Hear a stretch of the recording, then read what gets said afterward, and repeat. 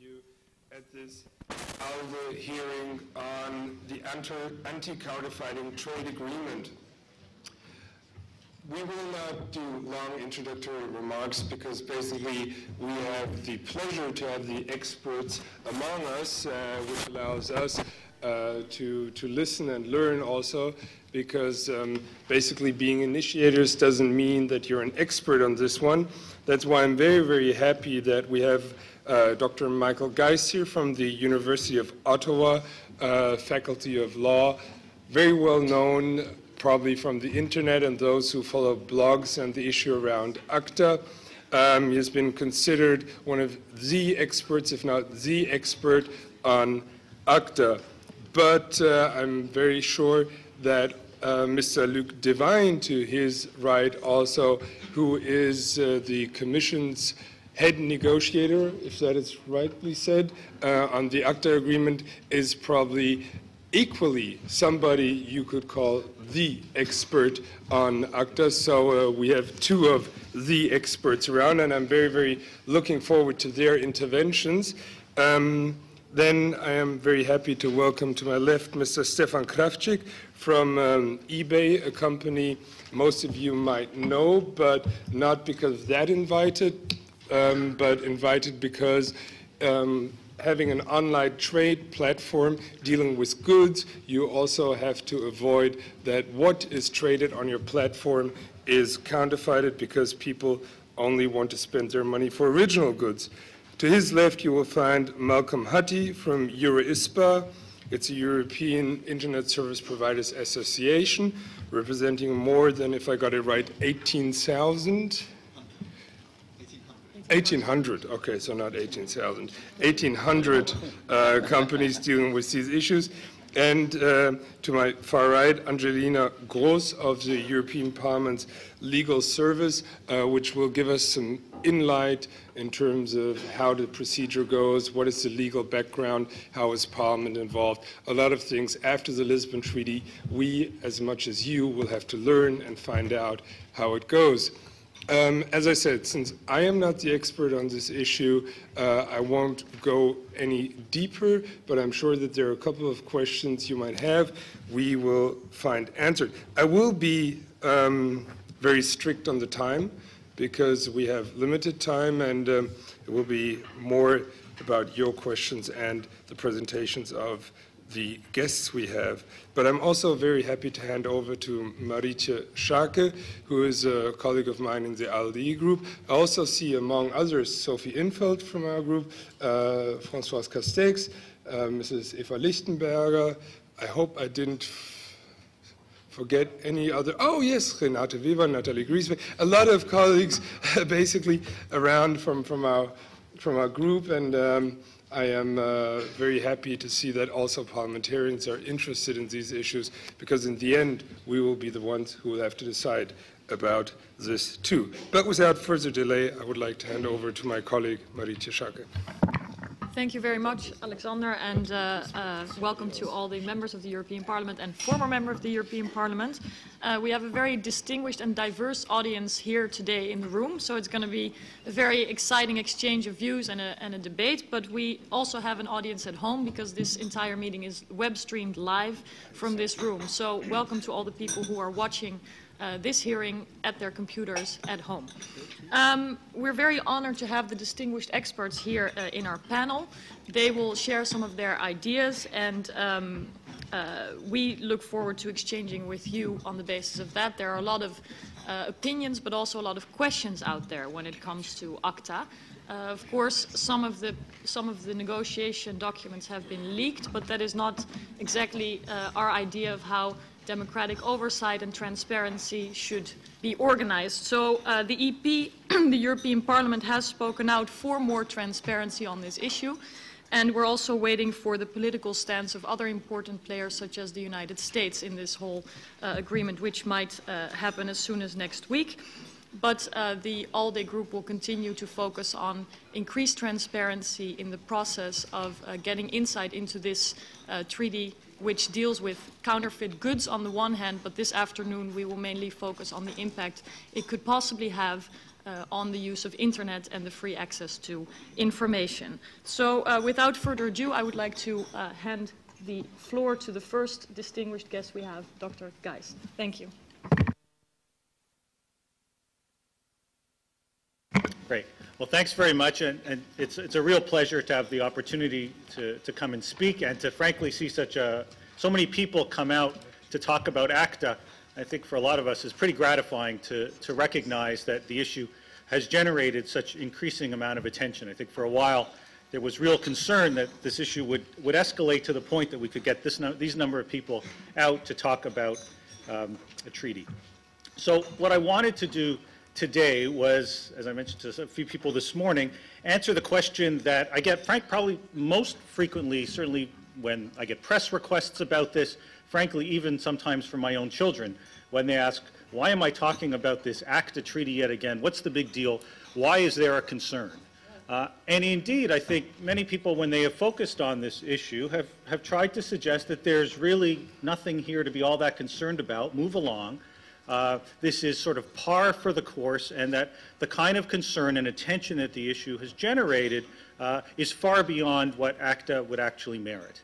Uh, and I guess what I want to do in many respects is try to make the case that I think the concern is justified uh, and that really merits and mandates some significant change in terms of, of the process, and indeed I would argue even with respect to the text. Two caveats, though, before I get going.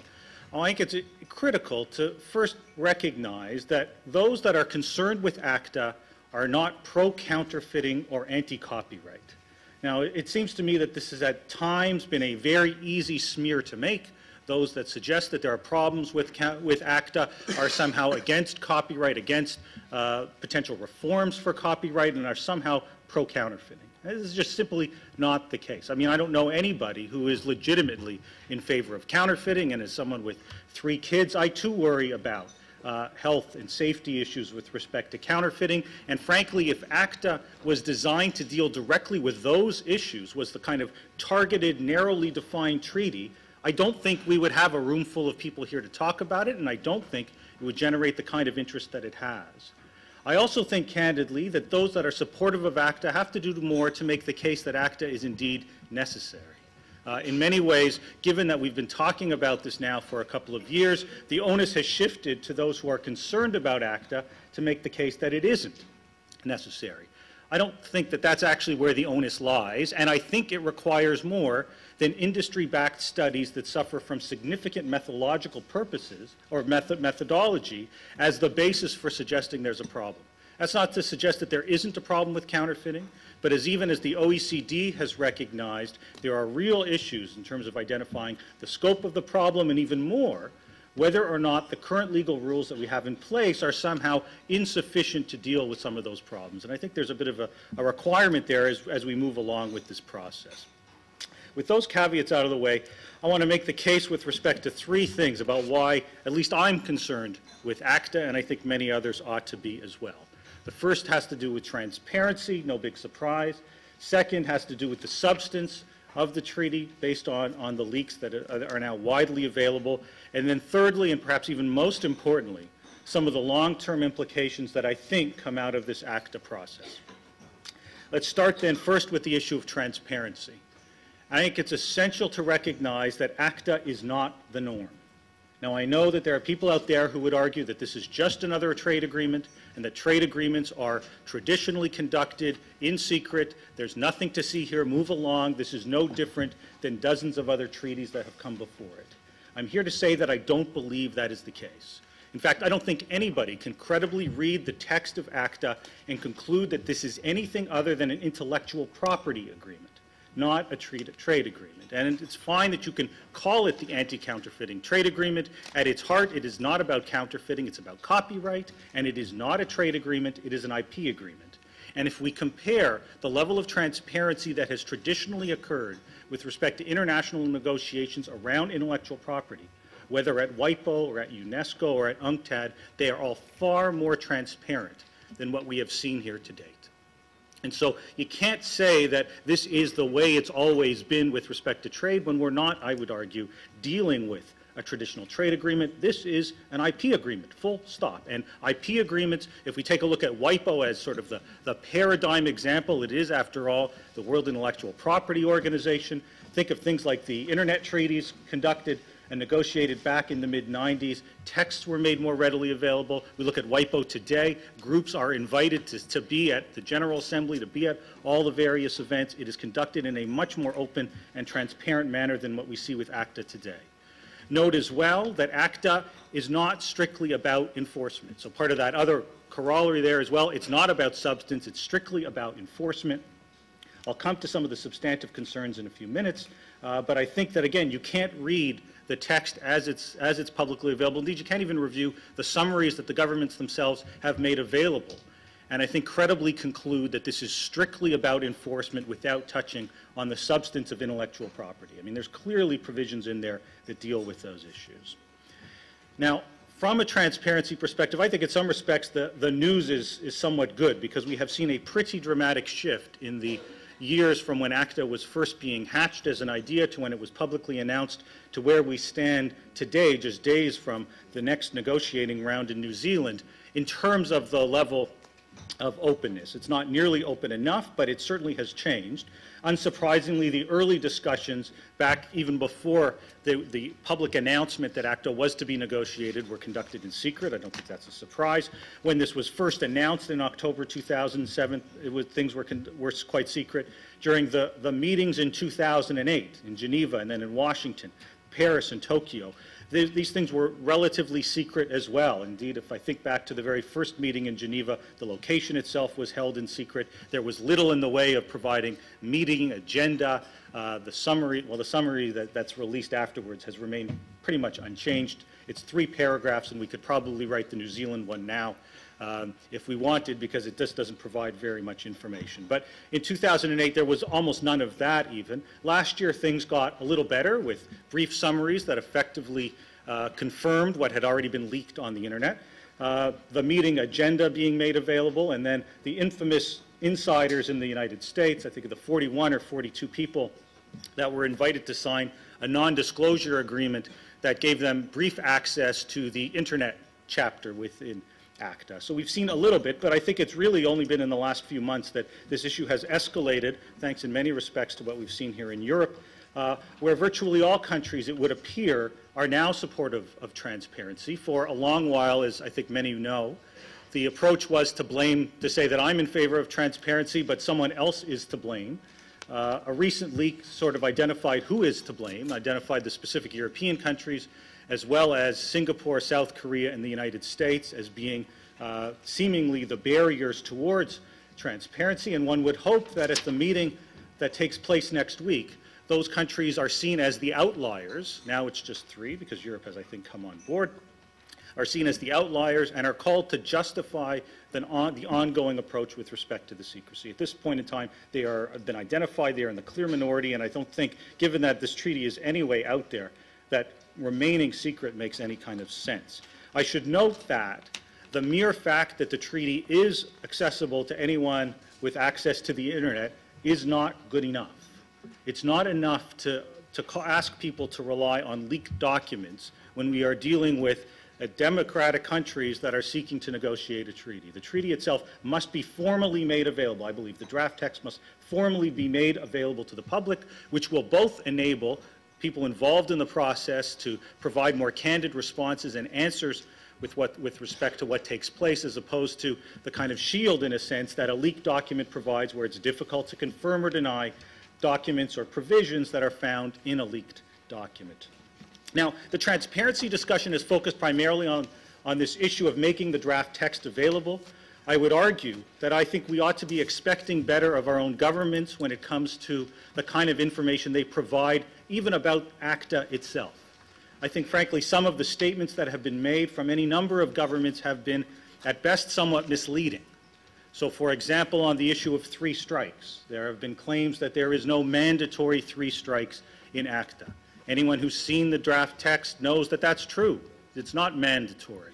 Yet it's quite clearly included as an example of the kind of policy that an ISP might put into place and to, and to, to rest your hat, in a sense, on this issue of mandatory versus not mandatory, I think misleads many people. So too claims that there's been no discussion of three strikes, which we've heard in the past. There clearly has been. It's in a footnote, and it was it's in, been in summary documents and other leaked documents that have been available now for months, dating back to last fall. Even some of the statements in the public documents, the summaries themselves, I don't think tell the full story. So claims that we are dealing solely with enforcement rather than substance. I'm sorry, but that's not true. There are provisions there that deal with things like anti-circumvention legislation, with rights management information, with dealing with labels that are seen as counterfeiting. These are substantive provisions that would require substantive change and are not dealing solely with enforcement. So too the claims that ACTA deals solely with commercial cases of counterfeiting. Again, not true. Statutory damages provisions, say in the United States, have been used now in the case of file sharing lawsuits more than 30,000 times actually just in this new round, a private, privately run one with more than 20,000 lawsuits uh, in one instance against people alleged to have used BitTorrent to download movies. And in every instance, we are dealing with what I think is clearly non-commercial activity. I'm not, we can debate whether the harm of it, but it's clearly non-commercial. And yet statutory damages come to the fore, creating the prospect of commercial level liability. Even with the de minimis provision, the infamous provision that, of which there are several, several proposals currently on the table to deal in effect with the rumors of iPod searching border guards. There we've got both rights holders expressing concern about the mere presence of this kind of provision, arguing that it would send the wrong message in an anti-counterfeiting treaty to say that, well, at the same time, we'll allow people to have a limited amount of counterfeit product. But even more, the language that we've seen within the various proposals talks solely trying to carve out commercial versus non-commercial, yet many people who cross borders with things like this, a personal computer, are treated as if this is a commercial piece of equipment, which can also be subject to search. And so questions both as to the ongoing possibility of a presence of a de minimis provision, so too concerns about whether or not this actually provides the effective carve-out that some believe it's meant to be. So transparency, an ongoing problem that needs to be addressed, not just with, with respect to the text, but indeed as well with respect to the kind of information that is being provided by our officials, both in my country and elsewhere. Second big concern that I have is with the substance. And candidly, eventually we are going to get past the transparency issue. Perhaps it will happen next week. Perhaps it happens in Geneva in early June, when I believe the next round is scheduled to take place. At some point in time, uh, this issue will be passed. And at that point in time, we're going to have to start talking about the substance. And I think from a substantive perspective, there are real concerns about what is being discussed. To give you a number of examples, I point to the anti-circumvention provisions. These are the provisions that are found in the WIPO Internet treaties negotiated back in the mid-1990s. If we go back to that point in time, it was very difficult. Those seeking to negotiate those treaties were unable to achieve consensus on language that ultimately made its way into the U.S. copyright law under the DMCA. And so more broad, liberal language was adopted. That was where they were able to achieve consensus. ACTA, in many, from my perspective, represents a renegotiation of those treaties, taking the language that the U.S. and others were unable to achieve during the negotiations of the WIPO Internet treaties in the mid-90s and inserting them now within ACTA.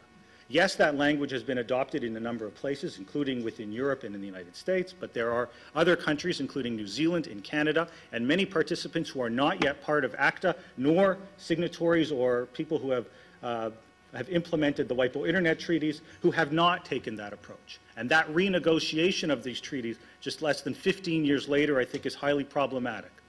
So too, issues around notice and takedown, again found in some countries, but not found in all countries. And in fact, even within that ACTA process, not found within all countries. Some countries rejecting it not because they don't want an, an effective approach to deal with the issue of, of infringement on system, on intermediaries, but precisely because they want to deal effectively with those with with infringement that takes place, rejecting the notice and takedown approach, adopting things like notice and notice and other sorts of approaches that are out there. ACTA, at least as currently conceives, would mandate a notice and takedown approach.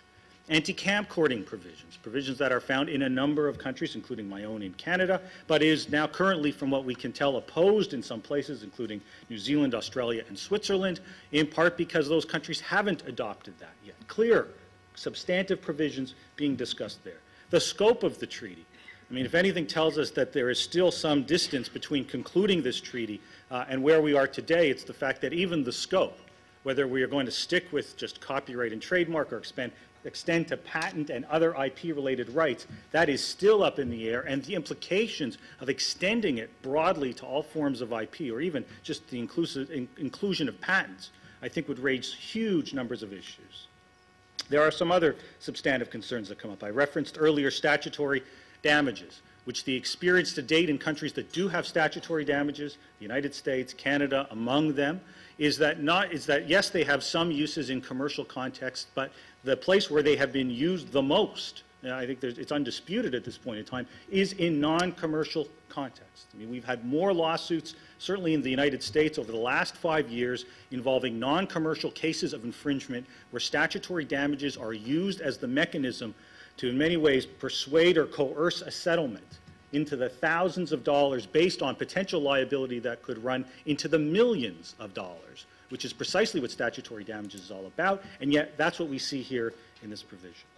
We see from a criminal provision perspective, we see language that talks about inciting, aiding, and abetting, quoting from the text, at least in cases of willful trademark, counterfeiting, and copyright or related rights, piracy on a commercial scale. I mean, that language, that inciting, aiding, and abetting language from a cr- criminal perspective, something not found in many countries, uh, and yet would require uh, that escalation of, of the escalation of, of that level of liability. I've already talked about the de minimis provision and the prospect that commuter, co- computer searches still could be captured, even with the proposals that are currently on the table. Broadly speaking, there is, it's important from a substantive perspective, I think, to recognize that unlike many other treaties and unlike many domestic laws that deal with intellectual property, which recognize that there is a balance to be achieved between the interests of rights holders on the one hand and users on the other, that balance is missing almost completely from ACTA. And so the balancing provisions that one finds in international documents, whether in TRIPS or elsewhere, or even basic notions of fair use or fair dealing, are nowhere to be found. We're waiting for the leak that contains references to fair use or fair dealing, and I fear that we're going to wait a very long time. And so that balance that we find exists in many other documents simply isn't there.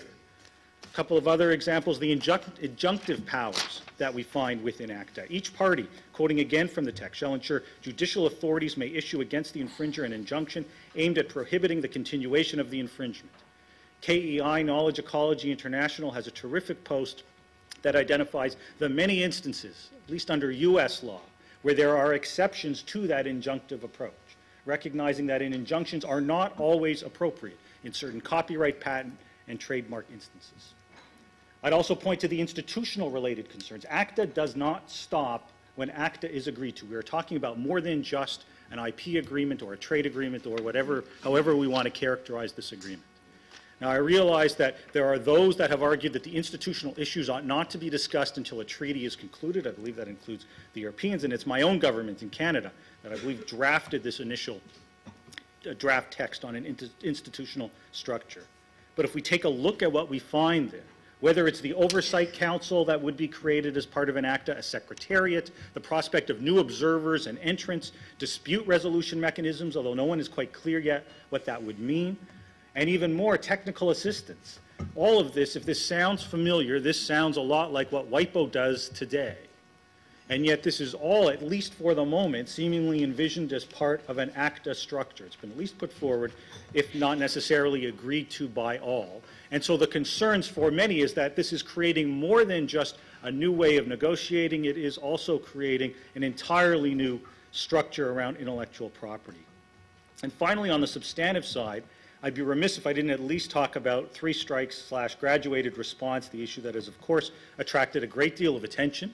And in some ways, I think, confusion as to the scope that things like graduated response are included. Now, we take a look at the text, what the US, current US proposal talks about is that it conditions, it, this all comes about in provisions dealing with safe harbors. And so let's recognize that intermediaries like ISPs have long said that it is essential for them to be able to conduct their business in an effective and efficient fashion, that there is a safe harbor enacted into a statute that allows them to conduct their, bus- know what their obligations are, knows, know what their responsibilities are at the same time.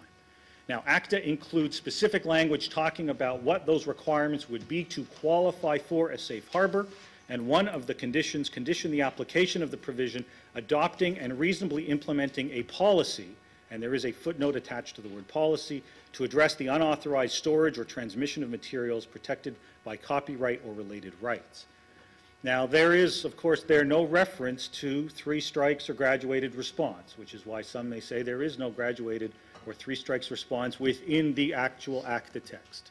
But if one read goes down to the footnote, footnote itself includes the following. An example of such a policy, being an ISP policy, is providing for the termination in appropriate circumstances of subscriptions and or accounts on the service provider's system or network of repeat infringers. Now, that sounds an awful lot like, awful lot to me, like graduated response or three strikes. It doesn't say it happens, has to happen in three times. It talks about repeat infringers and termination in appropriate circumstances. Now, I recognize that this is within a footnote, and I recognize as well that it is provided as a model or an example of a policy that an ISP might have. But let's also recognize that it is the only example that has been provided. There are no other illustrations that are out there about appropriate policies that are put into place. Now, this is just the U.S. proposal. According to the leak, there are, there's a European proposal, there's a Japanese proposal as well. I think it's fair to say that based at least on the U.S. text, which was, of course, the first that leaked that generated much of the initial discussion around this issue, and based on the fact that it continues to be there, there is, if not a mandatory, it's not a mandatory requirement, a clear movement in that direction. And I think that raises huge amounts of concerns. And indeed, I would argue one need only look at the experience with respect to anti-circumvention legislation that I mentioned a moment ago, where in the mid-90s, you can't get unable to achieve consensus at WIPO on anti-circumvention provisions that look like the DMCA, and so broader, more illustrative language is used. You then get the more specific, granular implementation within the DMCA, and fast forward about 10 years later, and we're now told that is the standard and it looks to be found in ACTA. I think there are many who are concerned that we may see the same thing happen here again, where this is a requirement to have a policy. The Japanese have, have said they don't even have a policy requirement within their legislation. This now requires a policy. It identifies this as the policy, termination of, repeat of allegedly repeat infringers. And we can easily, I think, envision a time two years from now, five years from now, where this is now seen as the standard and pressure builds in country after country to meet that same standard. We've seen exactly this kind of scenario play out before. Now, finally, so I've talked about substance, talked about transparency. Let me spend a couple of minutes, and with this I'll wrap up, on long-term implications. Because in many ways, much of the concern around ACTA involves not just this particular treaty, but implications that extend beyond just the substance. First off, concerns around the shift away from multilateral open negotiations. If anything, right, we are at a time when we ought to be embracing more multilateralism and more openness with respect to negotiations, and ACTA moves us precisely in the opposite direction. Indeed, one might well argue that that is indeed the intent, that it is sometimes more challenging to achieve consensus in a closed environment. And so let's move to this other approach, which might be seen as a country club style approach where a small group of people make the rules and, and aren't bound by some of the other conventions that we find uh, typically within multilateral institutional international negotiations. There are, of course, and we started to see talk of this, constitutional related issues. One of the, the striking things that we've seen both with, seen with respect to ACTA are there consistent claims that everybody says their laws aren't going to change, but somebody else's laws are going to change. So we hear it in the United States, we hear it here in Europe, we hear it in Australia. Our laws don't need to change, somebody else's laws need to change. Well, first, of course, that begs the question, what is the point of all of this if nobody's laws are going to change? But more, more to the point, if one reads the text, it is clear that this just is simply not the case. Frankly, everybody's law is going to have to change because there are differences in implementation with respect to many of these issues in many different countries. And so resting, as they do in the United States, on an executive agreement with the notion that there is no need for approval because there is no substantive change simply can't continue to stand. And Professors Lessig and Goldsmith, in an op-ed in the Washington Post last week, made the case that there were serious constitutional concerns. I take a look at what we've seen here in Europe with respect to the Lisbon Treaty and the importance of involving the European Parliament, and I think their voice on this issue is as much about that constitutional framework in terms of treaty negotiation as it is about the substance of ACTA as well. I'd point to the fact that ACTA now sidelines a number of critical international copyright-related issues. Things like limitations and exceptions work that we've seen at WIPO, the Treaty for the Blind that is ongoing, the development agenda that is ongoing at WIPO. All of these things effectively sidelined or put into a state of gridlock by virtue of the fact that many of the countries that are essential to participate in that discussion have now taken their ball and gone to play elsewhere within the ACTA context and may have less incentive to negotiate and participate on some of those issues. There are, as I'm sure many people know, serious privacy-related issues. I thought that the opinion piece that came out of the European Data Protection Supervisor, Hustinx, expressing serious concern about what this, what this means from a privacy perspective, both around three strikes as well as with respect to cross-border cross-border enforcement, are very serious issues, well argued um, by Commissioner Hustinx, and we have to, I think, is a wake-up call for those in the privacy community of the implications from an ACTA.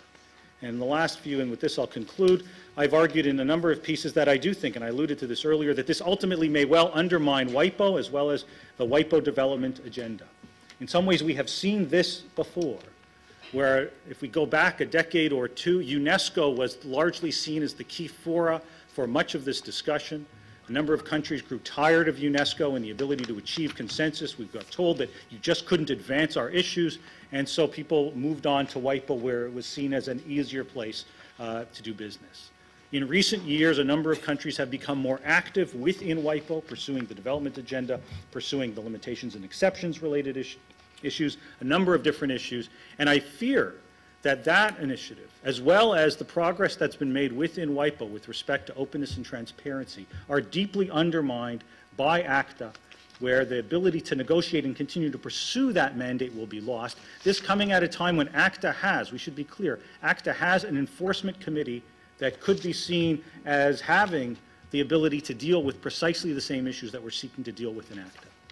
I have concerns, certainly as someone coming from Canada, that ACTA at some point in time, once concluded, becomes a pressure point for not just those within ACTA, but elsewhere. Read the Special 301 report on an annual basis, or even the National Trade estimates, taking a look at trade barriers that came out from the USTR last week. Country after country after country are cited for all sorts of things some of which are found in international law, other of which are strictly business issues. And it seems to me very clear that at some point in time, ACTA will be described as a standard, and those countries that don't meet that standard, the argument will be uh, have failed to effectively address these issues and thus uh, get cited in something like a USTR Special 301. And finally, with this I'll conclude, the irony of all of this is that if you were serious about counterfeiting, this treaty doesn't do the job right? I mean, it is, as I've described on a number of occasions in the past, a counterfeiting agreement without the counterfeiters. And so we've got negotiating parties who say, most of which say they don't need any domestic change within their laws, by almost any review, are not the source of any significant amount of counterfeit product, particularly when we're talking about health and safety related issues. And yet, all the countries that are identified consistently as the primary sources of this product, who presumably are the very countries who we'd want to have at the table, are expressly not at the table. And so, if we're going to deal seriously with counterfeiting, and I say as many, I think, that we ought to be dealing seriously with issues around health and safety, then we have to recognize that ACTA, even by design, is not designed to deal with this in effective fashion. If you were serious about it, what you would do is would ensure that you brought to the table the various other countries who are seen as a concern, not say these countries are barriers in order for us to get some sort of agreement and explicitly exclude them from the very outset. And so therefore, I am concerned, and I think frankly we all ought to be concerned, and with that I'll stop. Thanks for your attention.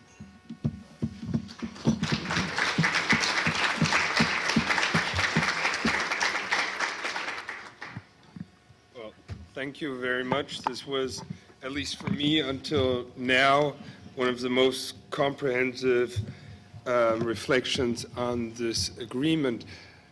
We have now time for questions and answers from the floor, so feel free if you have any questions concerning the introduction given by Mr. Geist.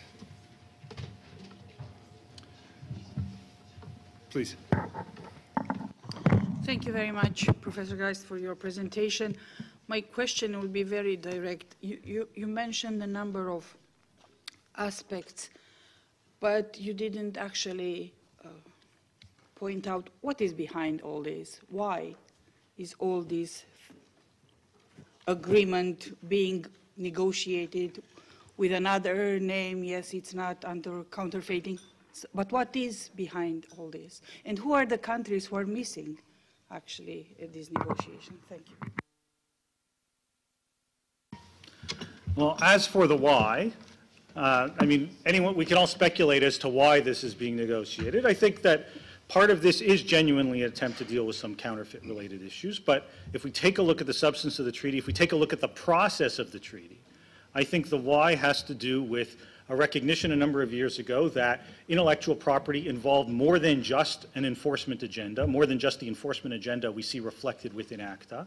It involves issues around things like development, around limitations and exceptions, around a number of different issues, and that including, as part of an IP agenda, both of those was proving challenging for those that were much more focused on the enforcement side, and so saw this as a golden opportunity, a mechanism in effect, to try to move forward on the enforcement part of the equation without necessarily having to deal with all the rest of it. And couching this as counterfeiting proved to be an effect, very effective, certainly effective way of characterizing what's taking place. It's been striking. I was talking with someone earlier today in Canada. We had a consultation on, on, on ACTA last year. And whenever you go to these meetings, one of the very first things that gets talked about are health and safety related issues.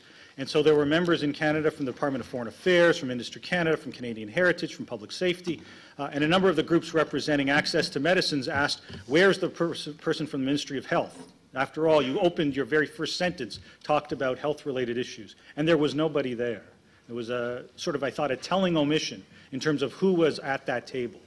Health and safety is something we're all concerned with, and so it is a very effective tool to move forward on issues like anti-camcording, uh, three strikes, and issues that frankly have nothing to do with that. As for who's not at the table that ought to be, we need only look at the countries that are so often targeted or named as, as countries that are seen as sources of this issues, whether we're talking about China or I- Indonesia or Pakistan, or think about some of the BRIC countries like Brazil or India. These are countries that are increasingly engaged on, on intellectual property, intellectual property policy, and their exclusion, I think, is, is striking and highlights the fact that we're talking about a treaty that in some ways is designed to fail if, we, if, if the real goal is one to deal with counterfeit-related issues.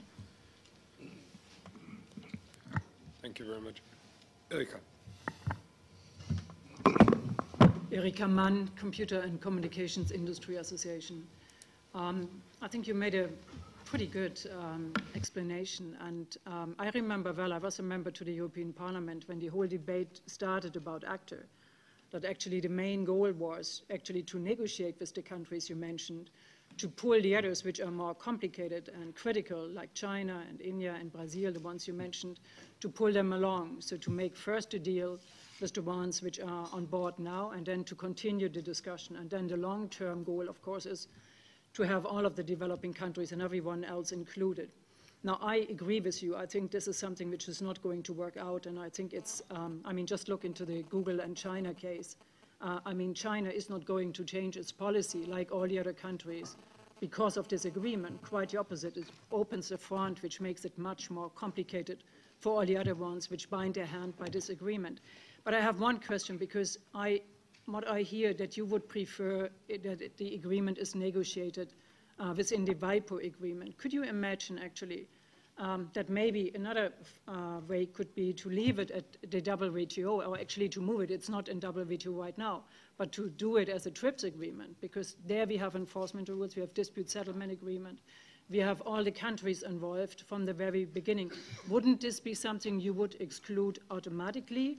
Uh, because it is an IPR agreement. Is this the argument? But I would say if you would leave out certain parts, which you, I agree with you, which rightly should be only negotiated in WIPO, but if you leave the, leave the good parts, then maybe the TRIPS environment could work as well. Just a question to you. Thank you. So I'll answer that, but I also want to note that when you talk about, when we talk about pulling along other countries, let's recognize what pulling along other countries actually means. What it means is pressuring those countries, whether by way of bilateral trade agreements or other sorts of, other sorts of mechanisms to say that you've got to agree to these standards, uh, otherwise we're not dealing on some of these other issues. That's what pulling along is. Note as well that this is in many respects seen as a coalition of the willing, the countries that are all seen to be uh, on side. And what is striking when you take a look at the draft text is that I think we can all agree that amongst those countries, everybody has as their goal to deal with counterfeiting effectively. Indeed, I would argue to deal with infringement of IPRs effectively. But we don't all take precisely the same road to get there. One of the challenges, and I think it's, it's evident when you take a look at the text, is that ACTA seeks to be so, be so granular, so specific in approach, unlike most other higher level international instruments that set as a goal what is designed to happen, but don't get into that granularity, that it quickly becomes evident that it's very difficult to achieve even consensus among people who agree that this is a problem that we ought to be dealing with. Now, as for the appropriate fora, I know that We've heard that what the WTO is seen as a non-starter, that we can't, I saw a couple of weeks ago, we were told, can't even put it on the agenda at the WTO. Uh, and if indeed that is the case, then I suppose that represents a problem. But it what I think, case. it is, so there we go.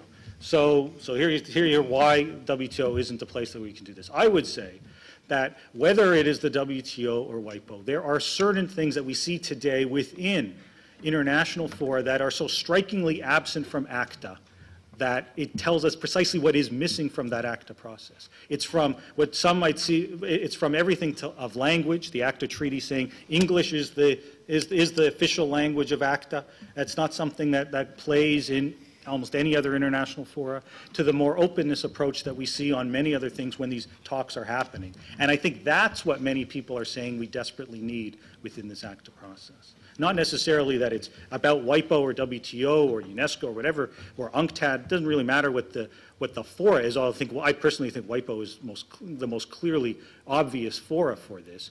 It's about imbuing these kinds of discussions with the basic kinds of democratic notions, openness and transparency that increasingly are part of that multilateral system, but I think are strikingly absent from ACTA. Can, can I ask a question?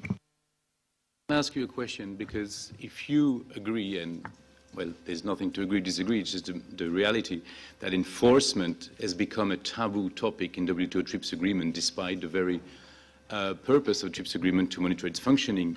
And since it is the same membership in WTO and WIPO, why would the country who refuse to have enforcement on the agenda in WTO would accept to have it in WIPO? Or even better, to work on something better? I guess my response would be that if we take a look at the fact that A, WIPO has an enforcement committee which is active, and B, we have some, we have some of those. You might have you may have missed some of that because this, the Korea negotiations were taking place precisely the same week, but nevertheless, uh, that committee does function. Uh, and more than that, uh, the reality is that many of the countries who are involved that, that you would say are, are seen as not moving forward on these issues now come to the WIPO process with some very specific goals of their own. So that when they talk about things like access to medicines or a treaty for the blind or certain issues on limitations and exceptions, they come with a goal not of trying to muck up the system and stop progress with respect to IP as broadly defined as more than just enforcement, they come to WIPO with their issues, uh, a core part of what they want to see happen. And what's happening is that uh, if you, I, I, think that the way to achieve uh, so on the enforcement side is actually to put both of those issues more clearly on the table. Move, taking it off the table and going to ACTA undermines both the ability to deal with those issues and raises the kinds of concerns that I've talked about. Very good to see that you two are warming up. Um, we also we also have a further request for the floor, Sophie in 't Veld and then David Hammerstein. If there's anyone else asking for the floor in this round, please indicate now because afterwards then I would hand over to Mr. Devigne. Doesn't seem so. Sophie, please. Yes, thank you, Alexander. And I, I, I will put my question to both speakers because I'm, I'm interested to hear uh, the, the reply from both. I, uh, first of all, thank you very much for your exhaustive list of um, uh, concerns with ACTA. I think there is one small one that you could add, and that's the one of function creep.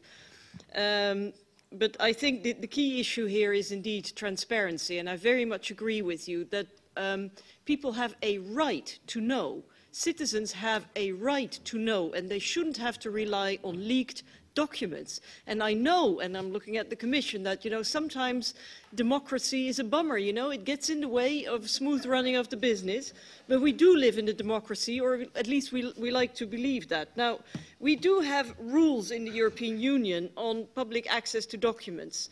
Uh, and I noticed that there is a pattern here. It's not just ACTA, it's in many international negotiations. Every time um, the argument of uh, international relations is invoked as a reason for not disclosing documents. And I wonder if, and, and that means that it overrules our own rules on transparency. And I wonder if uh, the Commission actually has a right to do that. I think morally it doesn't. This non-disclosure clause should not have been signed.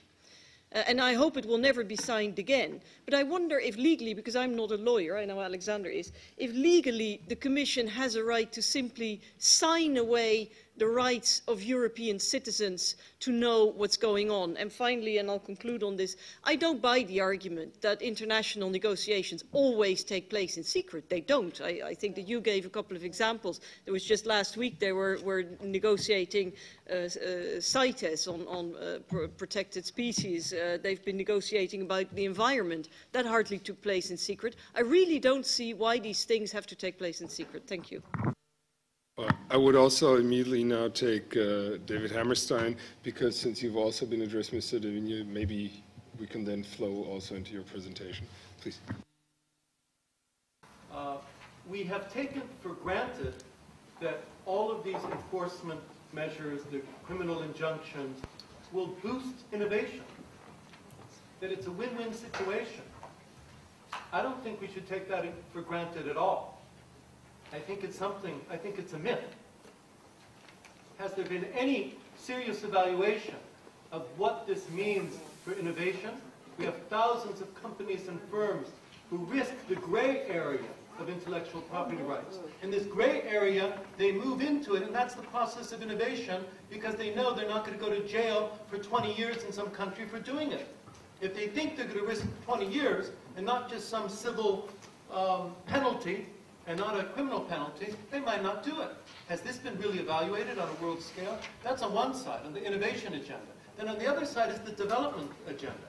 I've seen in the World Health Organization, year after year, how countries like Brazil and India are making proposals about technology transfer. They're making proposals about new ways of promoting innovation, for example, in medicine, because the present ways do not work. So I see that kind of what we're doing now with this process of ACTA is to ossify, petrify, to really to totally freeze into our present model when half the world is talking about new models for innovation that help development in a more fair way and sharing that development with technology transfer, innovation prizes, all kinds of ideas, like let's say for medicines, but also on other levels of copyright, like the Treaty for the Blind, that the European Union opposes the right to read for 300 million visually impaired people because of IPR. It is opposed to a treaty for the blind in the world intellectual property. They've said it openly. They're against this treaty. The Commission tells me every day, Luc is shaking his head. And why? Because obviously they're on an agenda that we have, the elevator of IPR protection and enforcement has to keep on going up and we Sir, cannot make it your question, Whereas? My, my question is, don't you think making clear limitations and exceptions that are socially just in this world are a way of making the whole IPR system more legitimate?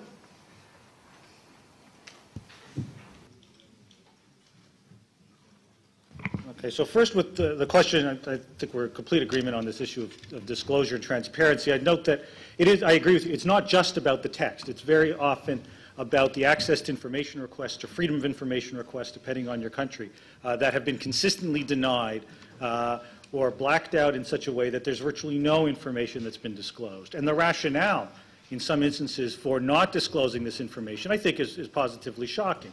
In the United States, some of the non-disclosure some of the non-disclosure that we've seen on the basis of freedom of information requests on ACTA have been on, the, on national security grounds. This is copyright law as if this is, this is akin to nuclear secrets. It's positively absurd to suggest, based on the document that now I've, I venture to say just about everybody in the room has seen, that this is a national security issue. I mean, it just clearly is not. And so the lack of disclosure that we often see through FOIA or ATI systems has been woefully inadequate, and I don't think up to the standard that citizens ought to expect uh, within democracies. In terms of David's point, I think, I think you're right. I mean, I think in many ways my point in terms of say, concerns about sort of dealing with ACTA and, and siphoning off all the IP enforcement without taking into account what is, I think, a more holistic, broader view of what advancing an IP agenda means, I think is enormously problematic. But I don't think few countries will say that they've done much in the way of study because everybody keeps telling us that this doesn't change their laws. So what do we need to study if this is exactly what we already find in the acquis or what we already find uh, in, in the United States or in Australia? What's the point of studying if this is already where we're at? I'd argue that we do need study, both in terms of what the benefits of some of these provisions will be, but as well the costs. If we to take just one example, on the issue of graduated response or notice systems in the places where there have been studies about what this will cost. If you take a look, for example, at the regulatory assessment in the UK on the digital economy bill, if you take a look at the costs that have come out in New Zealand on the Section 92A reform, you find that we are talking about millions and millions and millions of dollars that are borne by intermediaries. In some instances, particularly for smaller ISPs, costs that are so high that they would, they would find themselves completely uncompetitive in the market marketplace. So there are very real costs, but there's been a real reluctance to address them head on. Thank you very much, uh, Dr. Geist. I am aware there's also been a question which has been directed to Mr. Devigne, and I'm just interrupting um, to also hand over to your presentation.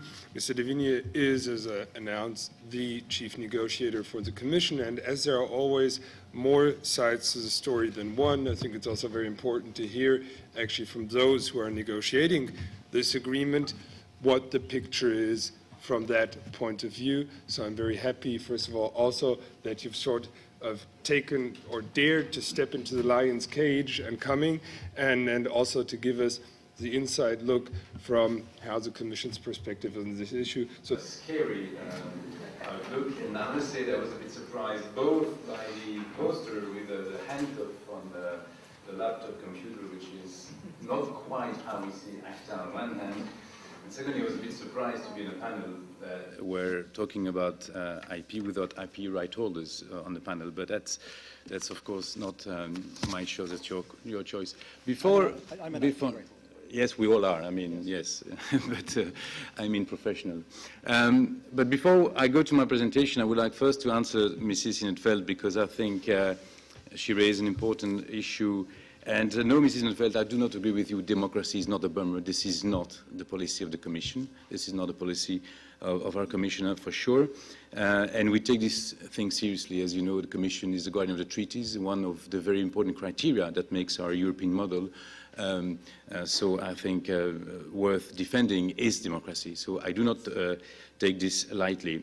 I should add that we did inform INTA committee uh, about uh, many details of what was ongoing. Of course, uh, according to the level of the negotiations, you're not a member of the INTA committee, but this is, this, is what, this is what's been done. In any case, we are, we Commission, in favor of transparency of releasing the document even if it was only because it makes our life easier, because it is very difficult to keep saying things which should dispel a number of myths which are perpetually put on the internet or wherever, and uh, being told, ah, yes, but because you don't show the document, we, we, don't, we don't believe you.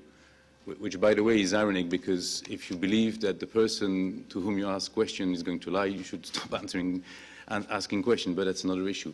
But even if we were uh, if, even if we were, uh, uh, what we are not, uh, lying or whatever, the Parliament in any case knows very well that we're going to put, or we're going to have to put this through its consent. And so uh, we will be judged on what we said. And I think it would be political suicide, and I don't think anyone likes to commit that, to lie to the Parliament on this issue.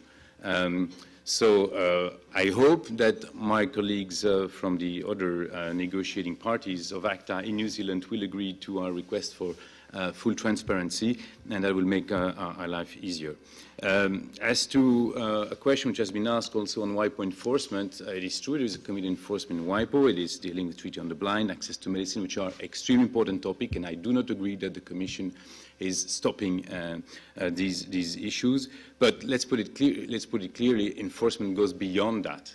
And it is very difficult to go beyond that. We were, we were stopped to merely share with the WTO partners our experience, not, not trying to say that others should do as we do. We were simply willing to, to say, okay, this is how we enforce IP in the EU, this is what our border uh, controls make, this is, this is how we work, this is the kind of rights we control, this is the kind of um, trade channel we control, and this is prohibited. We can't even speak. It's very rarely seen in WTO forum that countries block an item on the agenda, being merely on the agenda, but this is the reality, and it's been ongoing for now several years.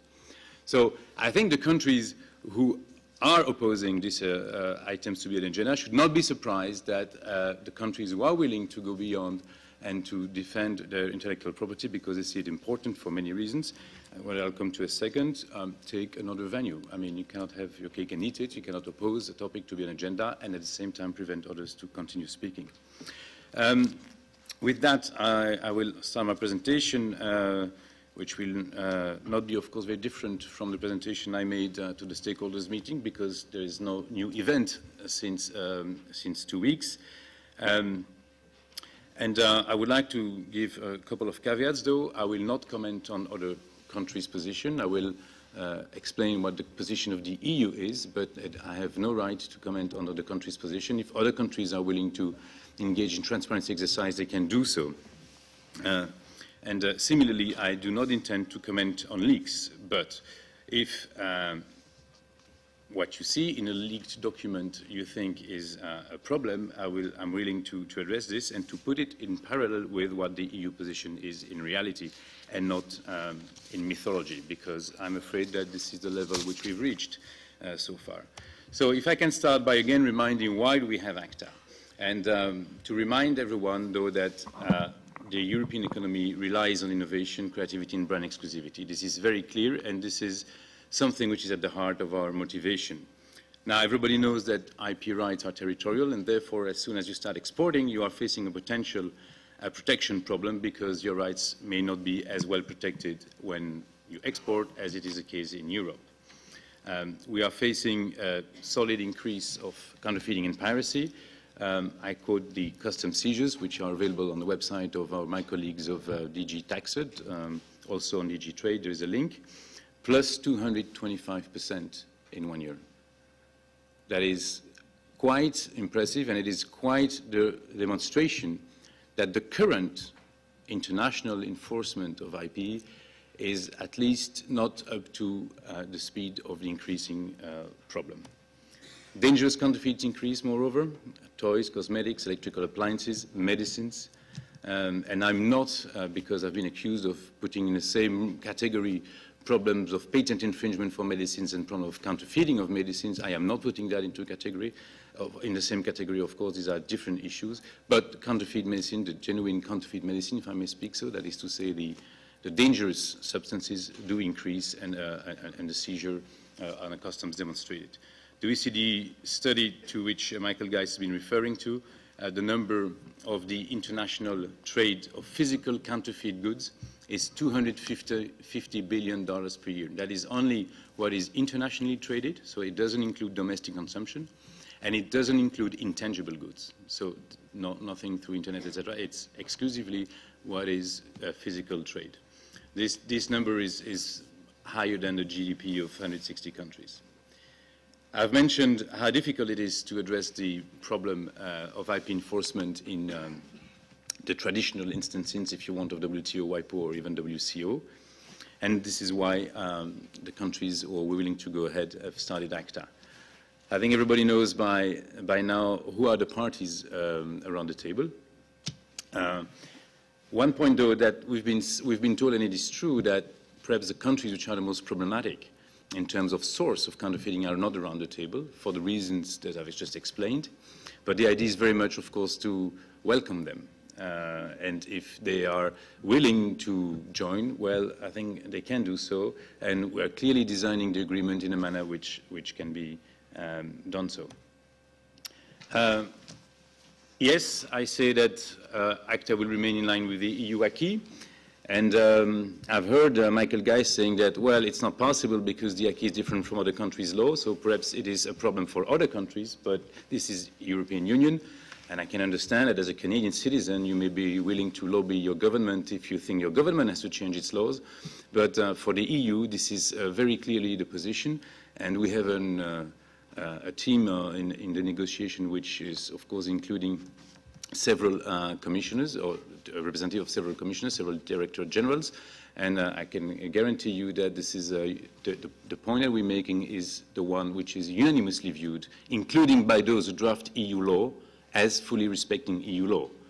So um, clearly no three-strike rule. Now you've, you've, interestingly, very cleverly I must say, threaded on a, on a, thin line. You said, well, it's not really compulsory, but it's in a footnote. Well, is it compulsory or is it not compulsory? As a law professor, you will agree that either it is compulsory or it is not. If it is not compulsory, it is fine, because it is the case in Europe that three-strike rule is not compulsory, and we're defending that.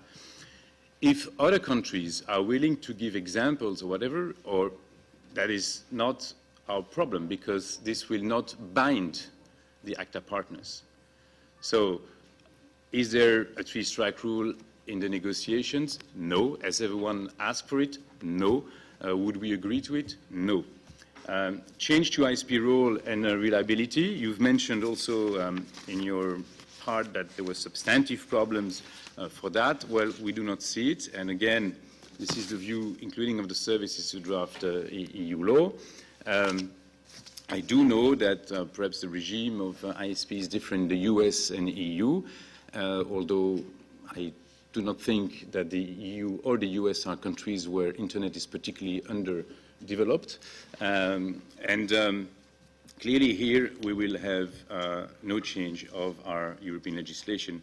Same for respect of privacy data protection. We have read the uh, carefully, and we have replied in detail to the European Data Protection uh, Supervisor report uh, on these issues, and we have absolutely no problem with the issues which are raised because, again, we do not change the law there. We do not change anything. We do not create this super, I don't know, customs border for IP, which I've been uh, writing about uh, sometimes. Um, ACTA deals only about enforcement and no substantive IP provisions. I maintain that.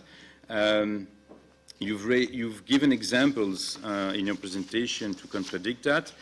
Uh, again, I can only comment about the EU position. You've mentioned statutory damages. We do not have that in the EU, therefore we will not accept them. Um, you mentioned anti-circumvention uh, devices. Here again, we will not go beyond our legislation. Notice and takedown, yes, we have them in the EU in certain form which are different than other countries, but it's not true that we would not have them today, um, and we will not change that again. Uh, camcording, uh, we have no specific um, uh, crime, if you want, um, of camcording in, in Europe legislation at a European level. Some countries have it, but not at a European level. And here again, we will not, we will not accept it. So I totally disagree with all the examples you've given to say that there will be substantive IP provisions. Um, so again, you may call me a liar, but at least um, this, is, this is very clearly the Commission uh, position, and I will stand by it. Uh, as to scope, yes, uh, you have mentioned that there are differences in scope between, um, between uh, parties.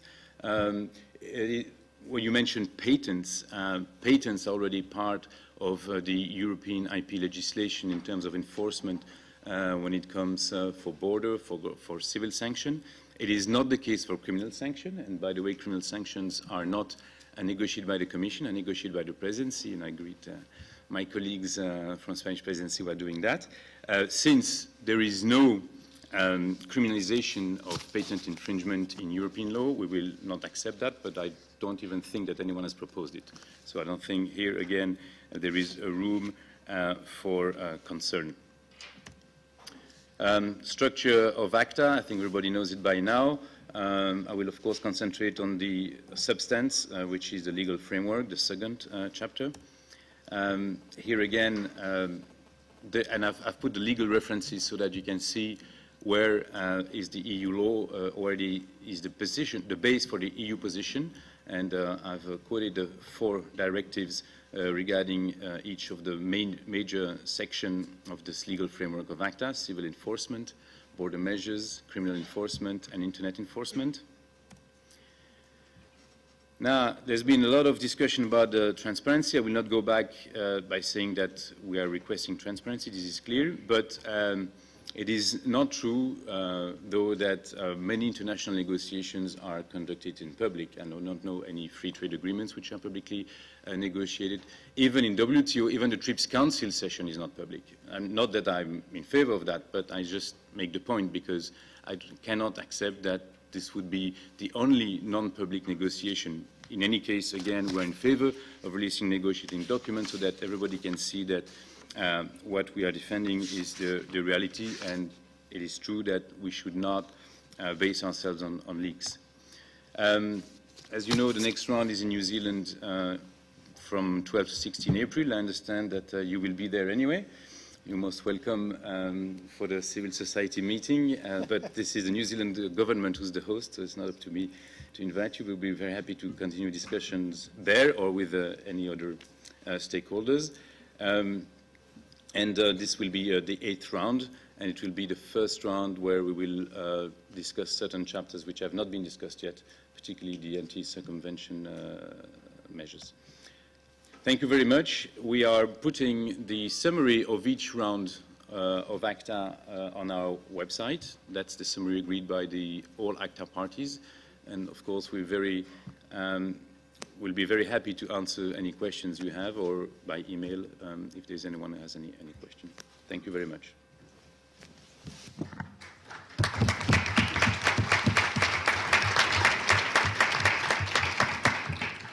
Thank you very much, Mr. De I already have four speakers on my list.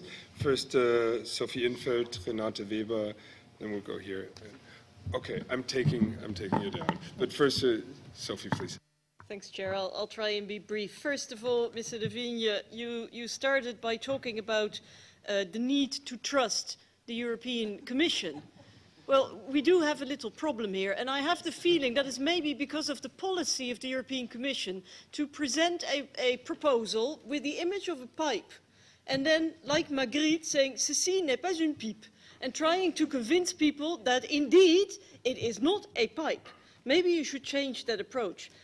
Three strikes is not compulsory, you say. Then why is it in the agreement in the first place? If it is up to countries to decide for themselves, there is really no reason why it should be in the agreement. The European Parliament has discussed the three strikes over and over and over again. Our position is clear. We do not want it. Maybe this is something to keep in mind if you come to the European Parliament for its consent. Secondly, second question, I'd like to get a bit more clarity about the uh, the, the, the companies sitting in on, on the talks or not sitting in on the talks because you, you say that, you know, oh, but we've been very transparent because we informed the INTA committee of the European Parliament. Well, you know, that's not my kind of transparency. I think it is for citizens all citizens to know what the negotiations are about. And I find it a bit odd that private companies, and I'm a liberal, you know, I, I, I, love business life, but I do think that citizens have rights too. And if companies are allowed to sit in on the talks or at least be informed on the talks,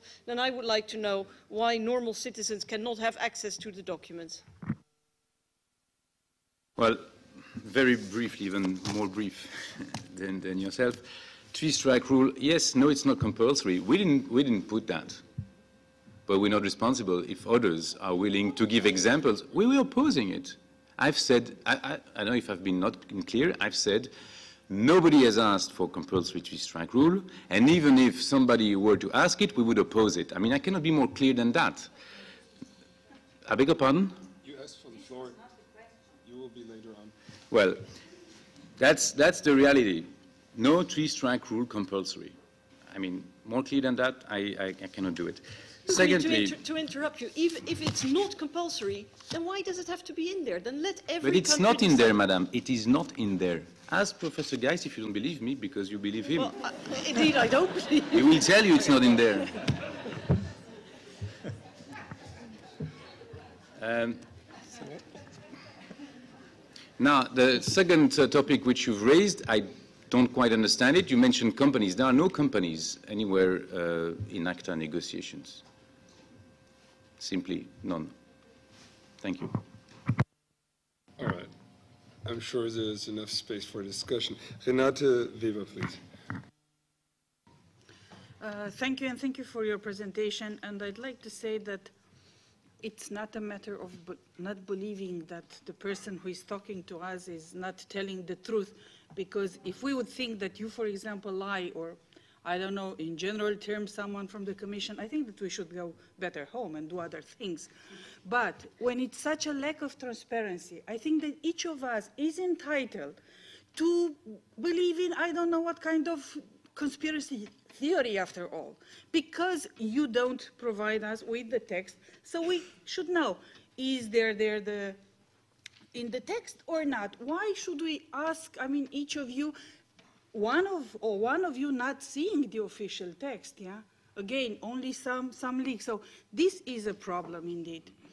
And my question is, if, for example, because in, in this kind of top secrecy negotiations, we don't know in the end what will be, how the, the text will look like. Can we be sure that if some of these provisions that we so strongly have fought against will be in the text, you will not agree with the text? Well, I don't know if it's such, of course, when I don't know anything about. I mean, it's just rumors. And let me tell you something which I found really, in a way, depressing, in a way. A couple of days ago, I came from Buenos Aires, and I entered a plane, which was a Lufthansa flight, to Frankfurt, with my water, which I brought somewhere in Buenos Aires, because nobody couldn't care less at the control, at the security control, about what I had. Nobody even asked me to, to pull out the, the laptop, yeah?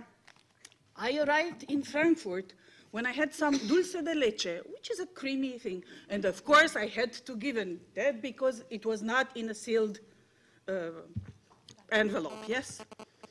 And this is just to show that the truth is, it, it's very much hypocrisy. We are making our lives more and more difficult for ourselves, while in fact there is an entire world out there who doesn't bother us. is it the case again with this, this new ACTA?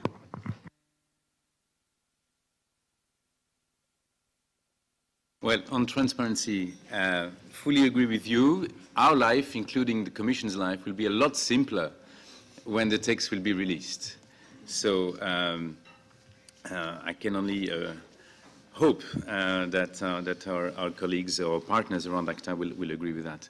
Um, and I'm not sure I've understood the question on, the on your second part, but if the question relates to border controls in general for any IP rate infringement, there will be no new, uh, uh, if you want, measures or new legislation uh, on this.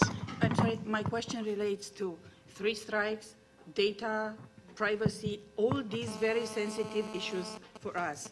If something like this will be in the treaty, in the final text, which I'm sure we will not know actually before, will the, the Commission oppose?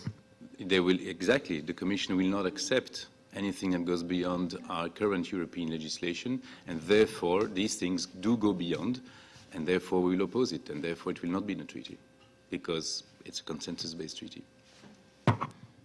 You can't get any clearer than that, I would say.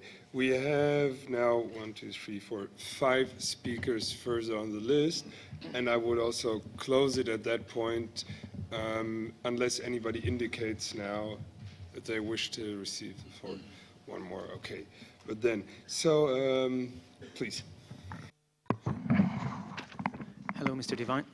Um, I'm Jérémie Zimmermann, co-founder and spokesperson for La Quadrature du Net. And I've got, um, first of all, a, a quick comment. Uh, the, there are provisions about the circumvention of technical measures in ACTA. And uh, we got a directive in Europe called the EUCD. You know it better than, than I do, the EUCD 2001 directive. And we're still waiting for an impact assessment. And actually, in many countries, it has been proven to fail. Uh, some innovators just moved away from Europe and notably from France uh, because of those provisions. And there's still no impact study, and therefore we will uh, cement, petrify, as Mr. Hammerstein told it before, those dispositions. So I find this a, a bit shocking. But it's not my, ma my main concern. My main concern is even if we believed you, I didn't, I didn't say it. Even if we believed you about not going further than the EU acquis with your part of the negotiation, you told us that the criminal sanction part are being negotiated by the Council, by the Presidency. So some parts are being negotiated and they are the, the strongest, the most uh, dissuasive, the most important parts of the criminal sanctions. Uh, in some leaks you won't comment on, we found some wordings going straight out of the IPRED 2 directive the part about inciting and abetting and aiding and so on. Uh, we also find the wording about the commercial scale being the only limit to the scope of the treaty.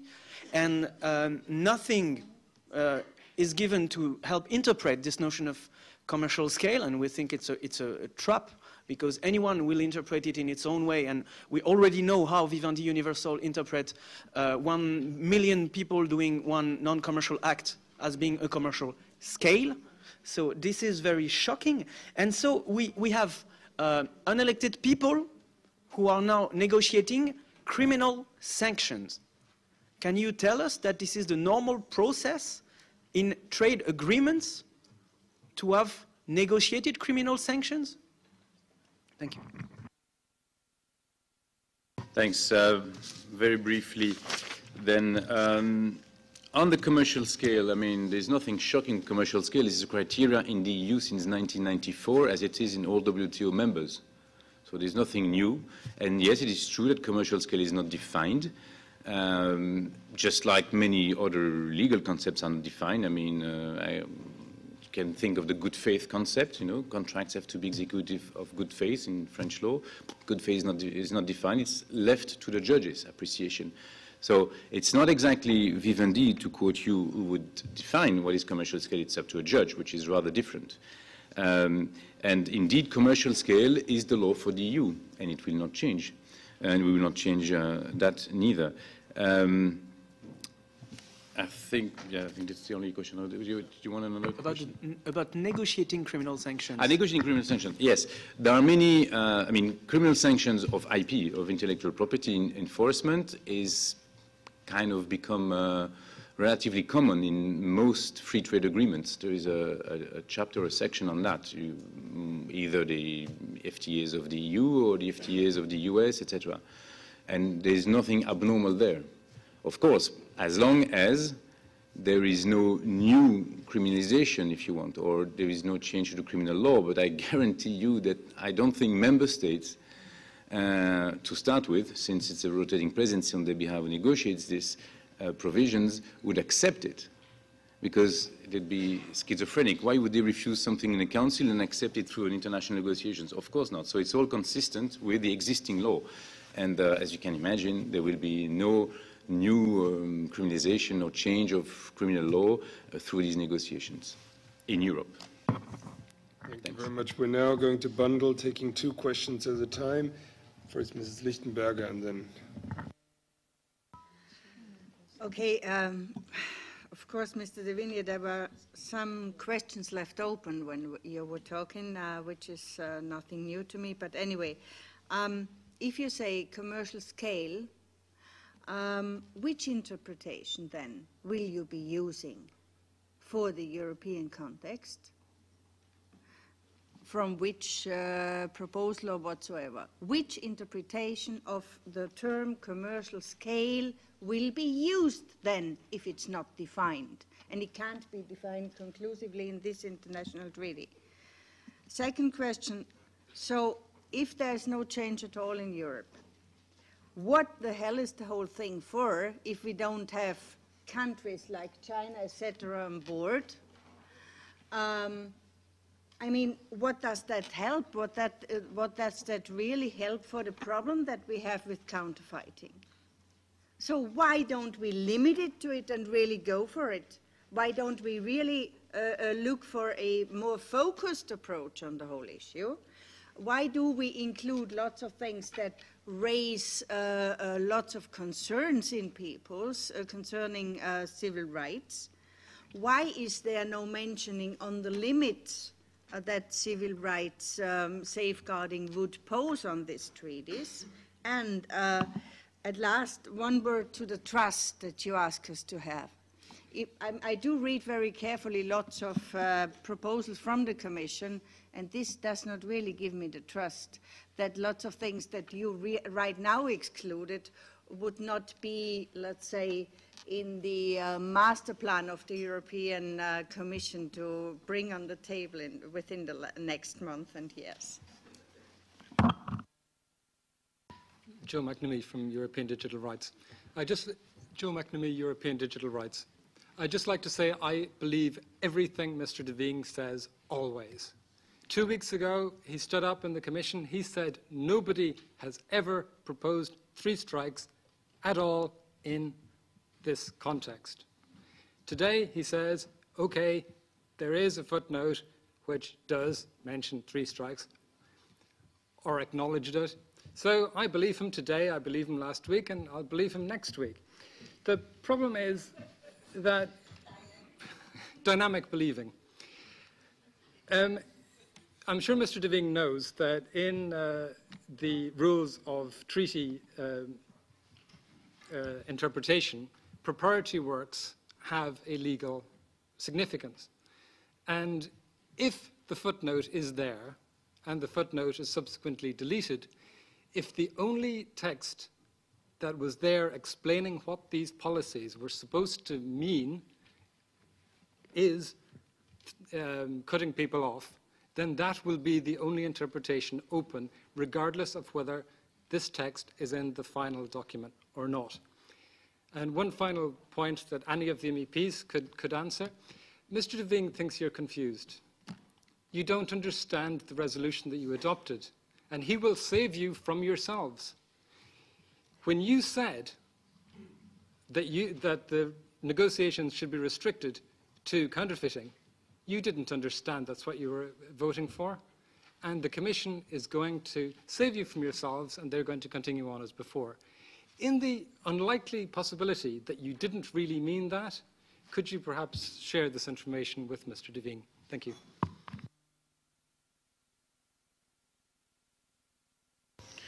Well, Mr. McNamee, I'm very happy you believe me and that you don't believe in myth. I said that nobody has ever asked three-strike rule to be compulsory in this treaty, and I stand by it. I said as well, I, yes, this is what I said. Uh, well, we can, whatever, this is what I said. And I've said, as I've added, that if somebody were to propose it, we would oppose it. And I think you will have great difficulty proving me the contrary.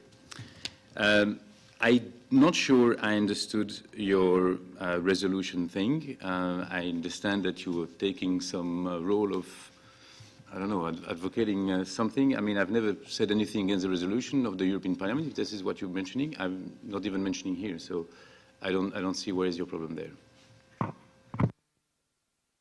Shall I try uh, perhaps uh, as well? To Mrs. Lichten, Lichtenberg at the same time, or?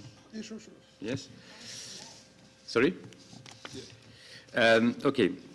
So um, you, you, you, you ask about the commercial scale. You say that there is no interpretation. It is true.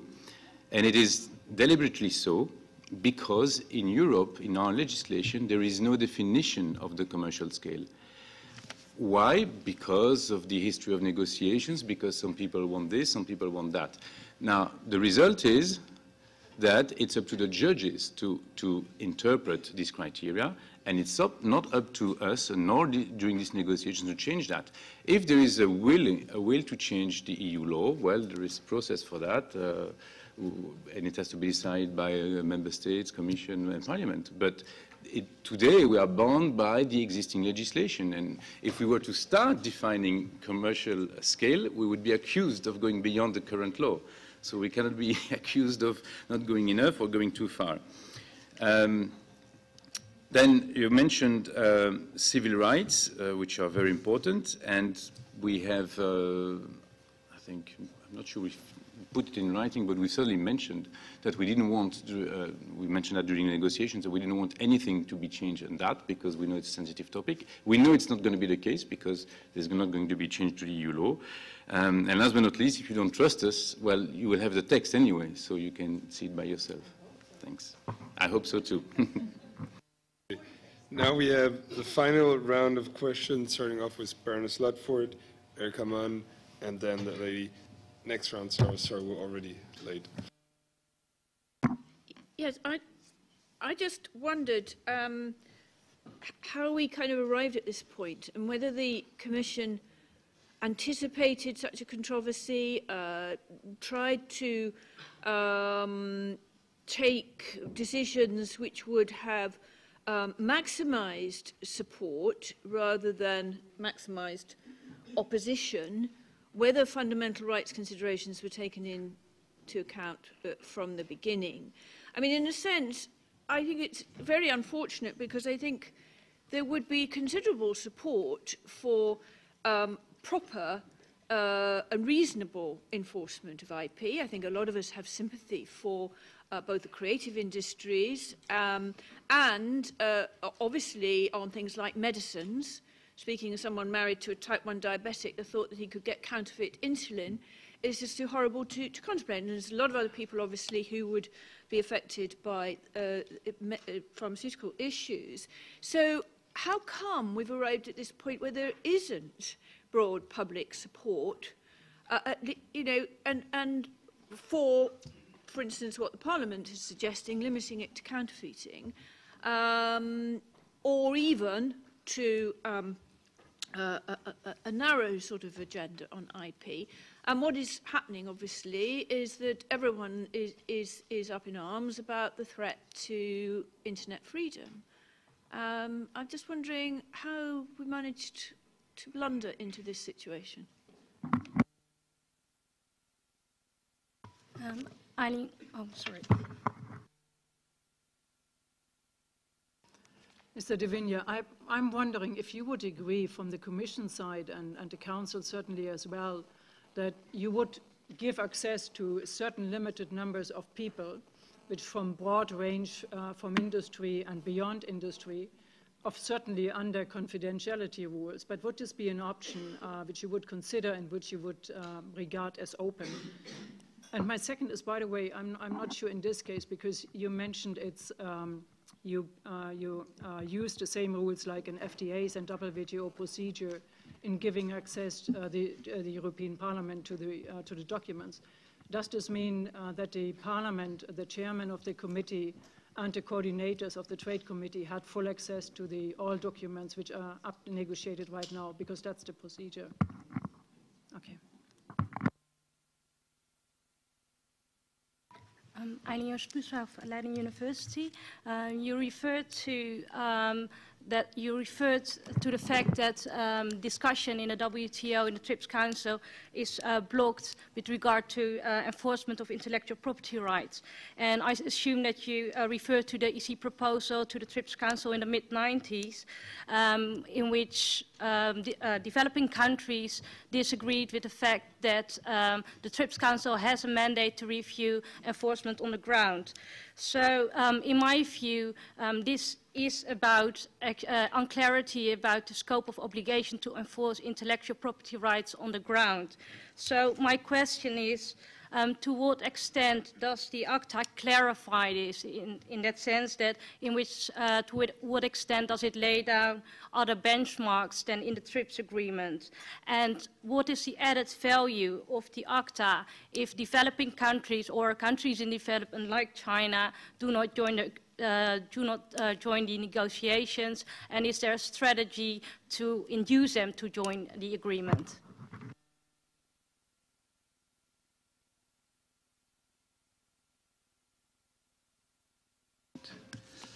Um, first question of Baroness Watford. um, why not such a, a, broader public support? Well, I'm hardly neutral on the issue, so um, I wonder, because it is, it's a very good question that you're asking, because there is indeed concern in this very parliament. I've been asked to speak several times at, um, at, at the request of uh, groups on counterfeiting.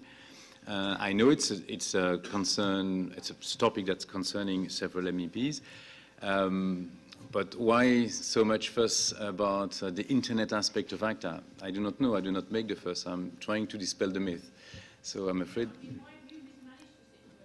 Mismanaged. Well, the problem is you can call it mismanagement. You can call it uh, differently. I mean, if if systematically what you say is not believed, um, is transformed, uh, is misspelled, etc. I mean, the only thing you can do is to be as transparent as possible, and I hope we're going to have success on this, and that the negotiating text will be available for the public. So we are beyond simply making them available for INTA or chairman, etc., and and that everybody will see by himself, by himself. Um, but uh, I take your point that uh, perhaps. Uh, uh, we should be better communicator or whatever. But uh,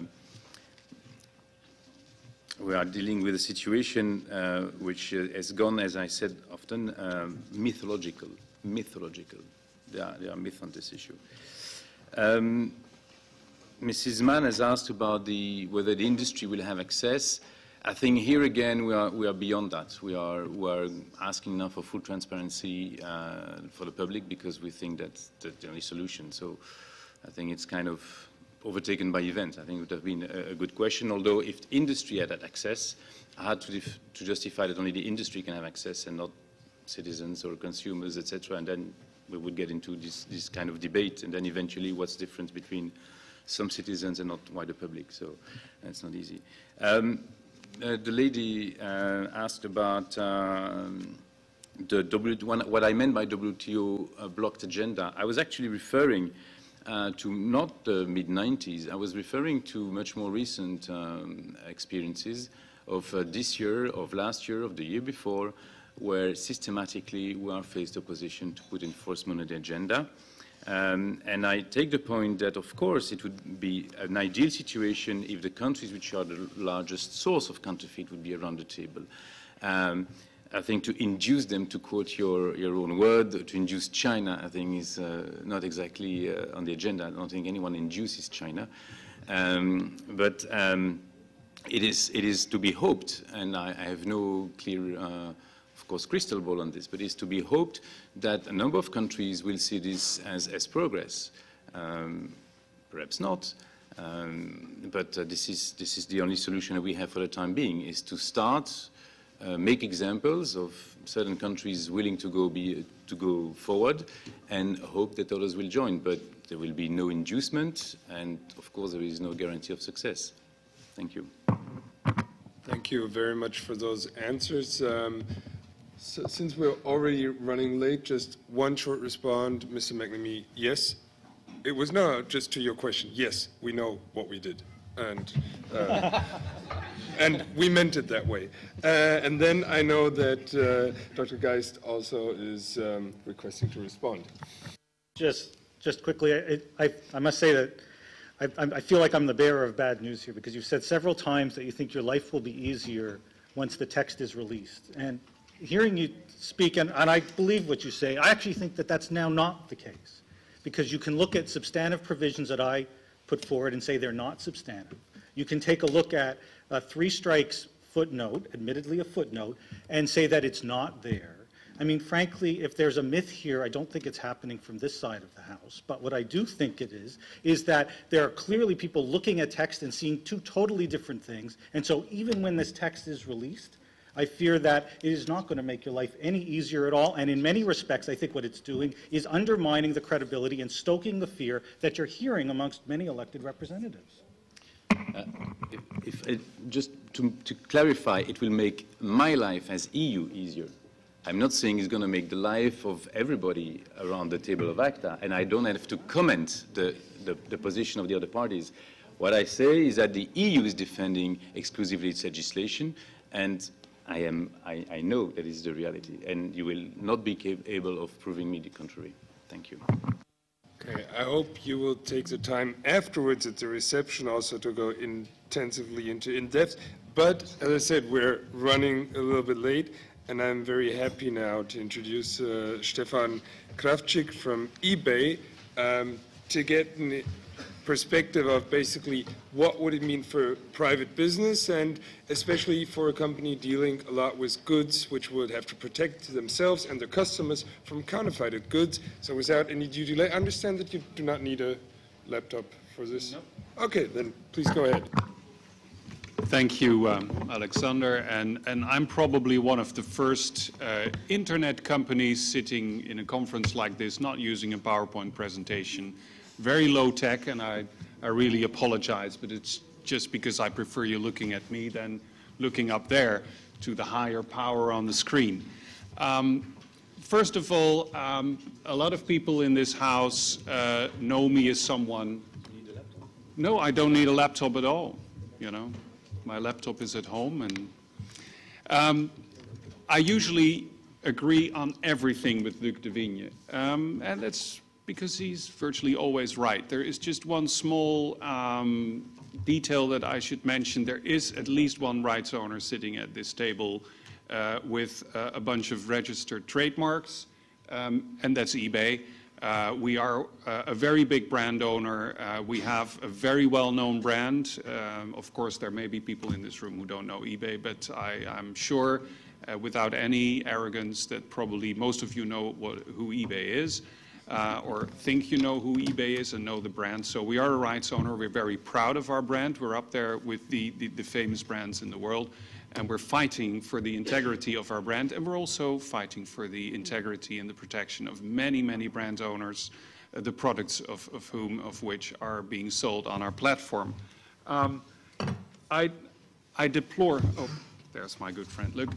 I, I actually deplore the fact that, uh, that there has been so much mystery about uh, ACTA, and I even more deplore the fact that Luc has been spending the better part of his professional life for the last couple of years uh, having to sit in meetings like this, talking about ACTA, justifying uh, ACTA, and trying to explain, in as much as the, the, the non-disclosure obligations allow him, what it might be about, could be about, etc. Because during all that time, he could actually be sitting around the table with the governments of Russia, of China, of Indonesia, of Malaysia, of Taiwan, of Thailand, of Turkey, and ever so many other countries that are the true sources of massive uh, flows of counterfeit products, uh, and who, if you would simply apply the basic principles of TRIPS and if you would use the WTO system to take them to task through the dispute settlement, might actually improve uh, their enforcement systems without the need for ACTA.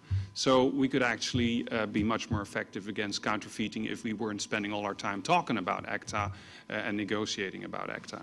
So uh, that is to, to set the scene a little bit from where we're coming from.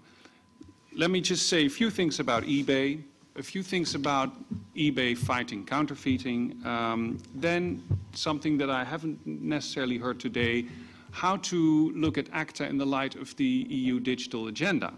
Uh, and then ACTA and the European Parliament, in particular, after that uh, wonderful resolution that was passed uh, very recently. Um, in the beginning, I said some of you may think they know eBay, um, and why do I say that? Because um, well, you may know that we've been founded, founded actually uh, about 15 years ago in 1995.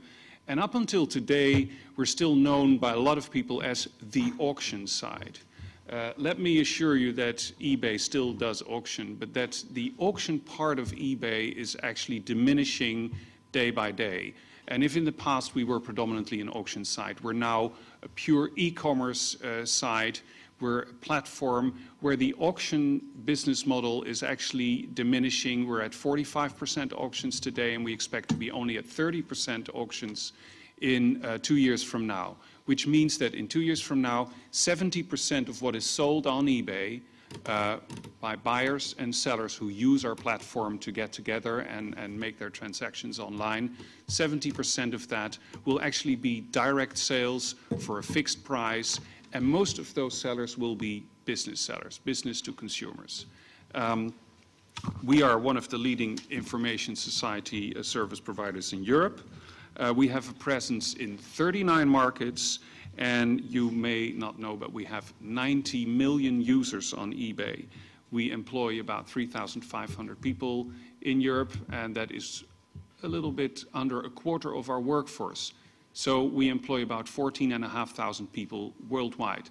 That is important in this context because we are a big, powerful company with a massive legal department, uh, with a host of very talented people who know about regulations and rules and about counterfeiting, about fighting counterfeiting. Um, we are in a comfortable position, and a lot of our colleagues are also in a comfortable position, the ones at Google and Amazon and, and, and other internet companies.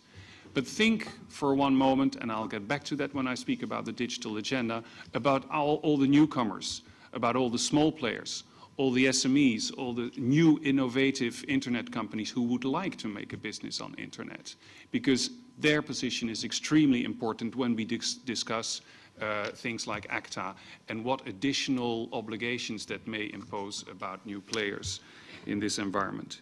Um, just to give you an impression of what kind of money we're talking about, uh, the transactions uh, on eBay in 2008, 2009 figures are not yet public, uh, were about $60 billion uh, globally.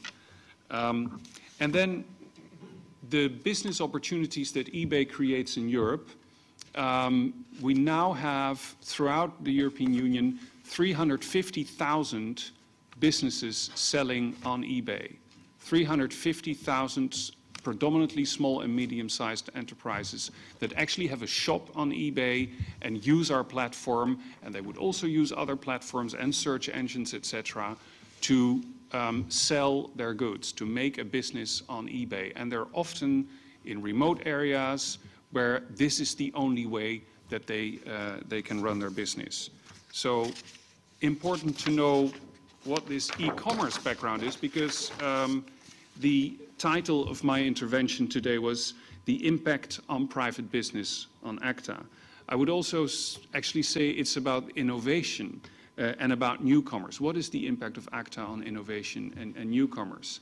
And the simple answer to that for me is if they, the negotiating parties, get ACTA right, then the impact is either going to be minimal or nothing at all. Because, as so many people before me have said, this is a negotiation of the willing, must, and, and of the ones who actually have proven that they already know how to enforce uh, intellectual uh, property rights.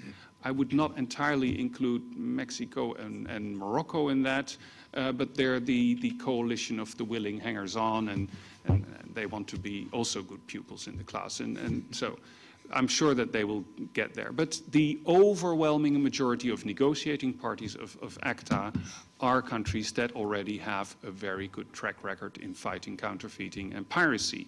So again, if the negotiating parties get it right, and I'll tell you later on what we think right is, um, then I don't think we'll feel a big difference. Um, however, if they don't get it right, if ACTA is indeed what so many people think it is, based on all the leaked documents, if it actually goes beyond just fighting counterfeiting and piracy, if it is about, uh, for example, infringement of intellectual property rights, which under each and every different jurisdiction may mean something completely different. It may not be limited to fake uh, and illegal goods. Um, then we enter into a whole new area where uh, a lot of countries may have to change their laws very substantially, uh, which will make it very difficult uh, for players. If uh, far-reaching criminal sanctions uh, are introduced, again, you'll see uh, a lot of different legal systems that may have to adapt to that. If so, if in our view ACTA isn't gotten right, then you see a major impact on business, in particular on the new innovative companies who will not be in a position to properly deal with all the new um, regulations and all the new obligations that are being imposed upon them. And one of them stands out, and I will come back to that, uh, which is really the fundament and the basis of e-commerce and, and, of all trade and development on, on internet. So Am I saying that eBay actually doesn't take counterfeiting seriously? Not at all. We take it extremely seriously. Um, we have uh, put in place a whole range of measures, and some people in this room are uh, engaged in talks with us bilaterally and, and in other frameworks, uh, and they know they are aware of all the preventive, proactive, and reactive measures that we've put in place to fight counterfeiting. Also, of all the information that we make available to our users. And there's one very, very simple reason, and I think all serious players on the internet, all e-commerce players have that very same reason.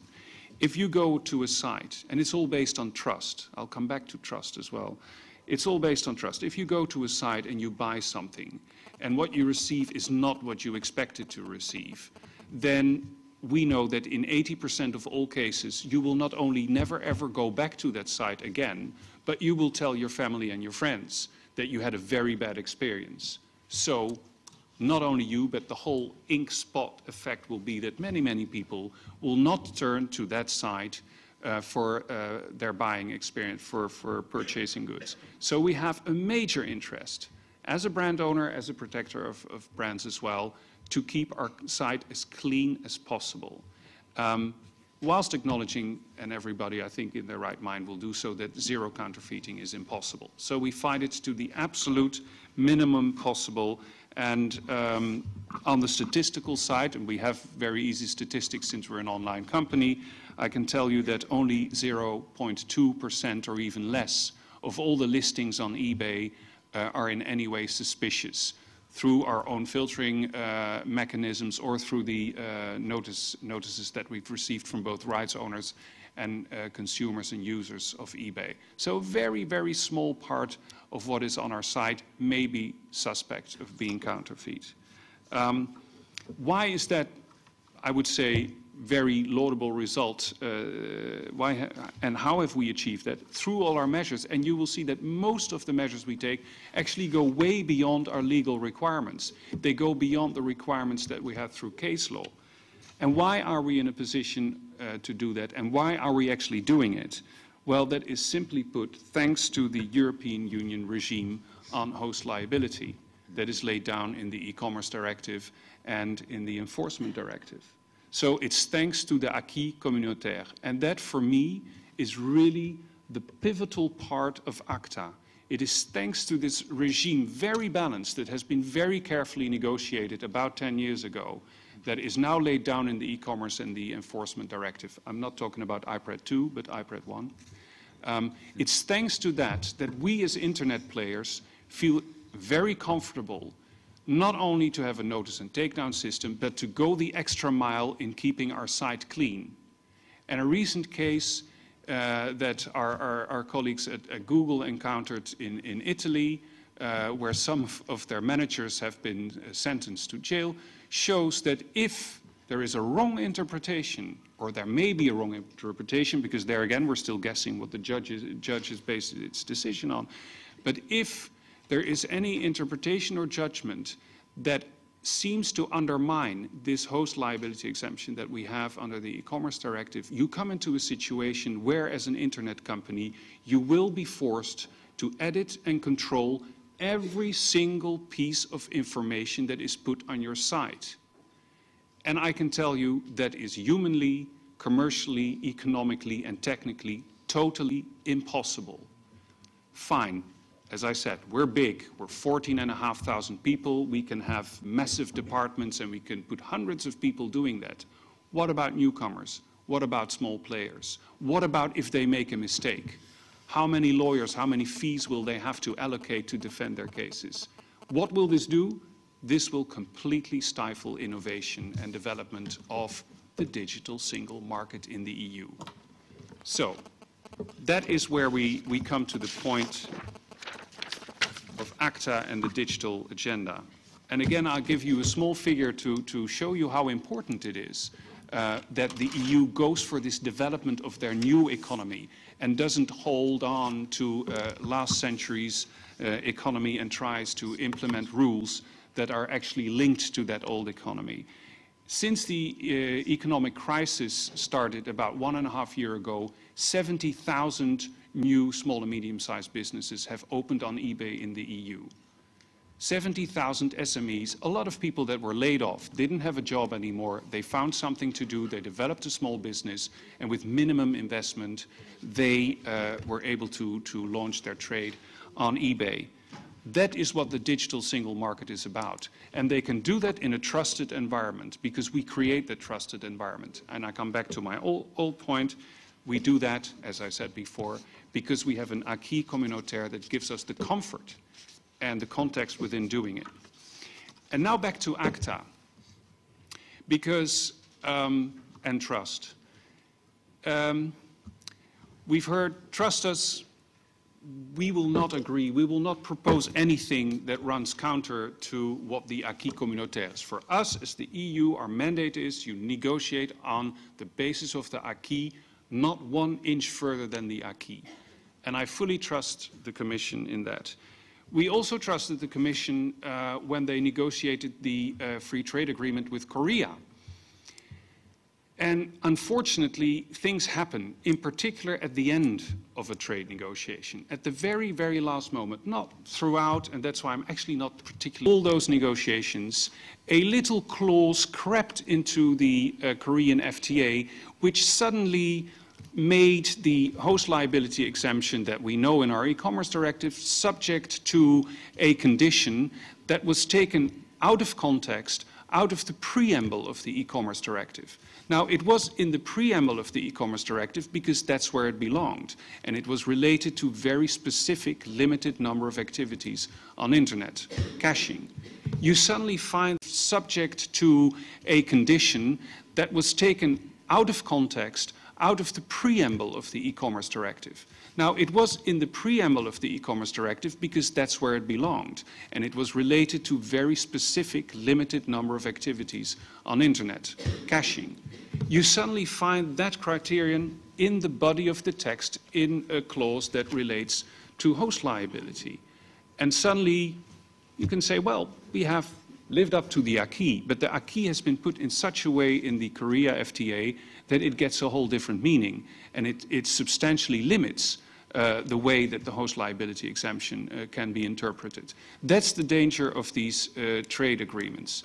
Um, and, and I would actually, when I come to the role of the Parliament in this, on the basis of the resolution, and taking aside any, you know, uh, wise uh, or, or, witty reference to, to possible uh, inconsistencies. I think there's one thing is very, very clear and consistent in the uh, European Mar Parliament's resolution. First of all, the text has to come on the table, as it is for everybody to see, to read, to understand, and to have an input into the process. That is crystal clear, and we fully support that as eBay. I only need two more minutes. Um, and I I was impressed, uh, I think it was last year, when uh, Amendment 138 to the telecom package was voted in, in, in, this House with way over 500 votes. I'm even more impressed with this resolution, which got 633 votes, which, according to my calculations, is 86% of all MEPs supported this resolution. And then I come back to trust. With such a clear message, from the European Parliament with the Lisbon Treaty and with all the clear commitments that Luc Devigne on behalf of the Commission has been making in this room, in the, in the stakeholder meetings, etc., we trust as eBay that when that final text comes to the table, that there will be nothing in there that Lucas said us uh, would not be in there, and that the parliamentarians, 633 of them, or a large majority of that, will not accept the text if it does contain, by accident, anything that goes beyond the acquis communautaire, or, or that through the back door more or less reinterprets the acquis communautaire, because that is where the danger is. That's where the battle will become really subtle, where uh, legal committees and other experts will have to advise MEPs and other players here, because the danger lies in very, very nasty little details that look innocent on the outside, but actually through the composition of the clauses and the text may have a devastating effect to the extent that we as internet players will have to become editors of all the material on our sites and that we may as well close down shop. And the bad thing is that we will close shop in the United States, in Europe, in Australia, in Canada, but not in Russia, not in China, not in Indonesia, uh, in Thailand, and the list goes on and on and on. Is that really what we want? Is that really what the digital agenda is all about? I don't think so. So we trust that the Commission will do the right thing, and through the resolution that has really given us so much hope and, and, and, and so, again, trust in the wisdom uh, of all the people involved in the decision-making process, that if ever there comes a text out of that negotiation process, it's just a reflection of what is the acquis communautaire in the EU, and that gives the digital agenda, that gives e-commerce, and that gives new and innovative players in Europe a chance to thrive whilst killing what really is the problem, pure counterfeiting, pure piracy, fake, illegal, non-authorized goods. Thank you.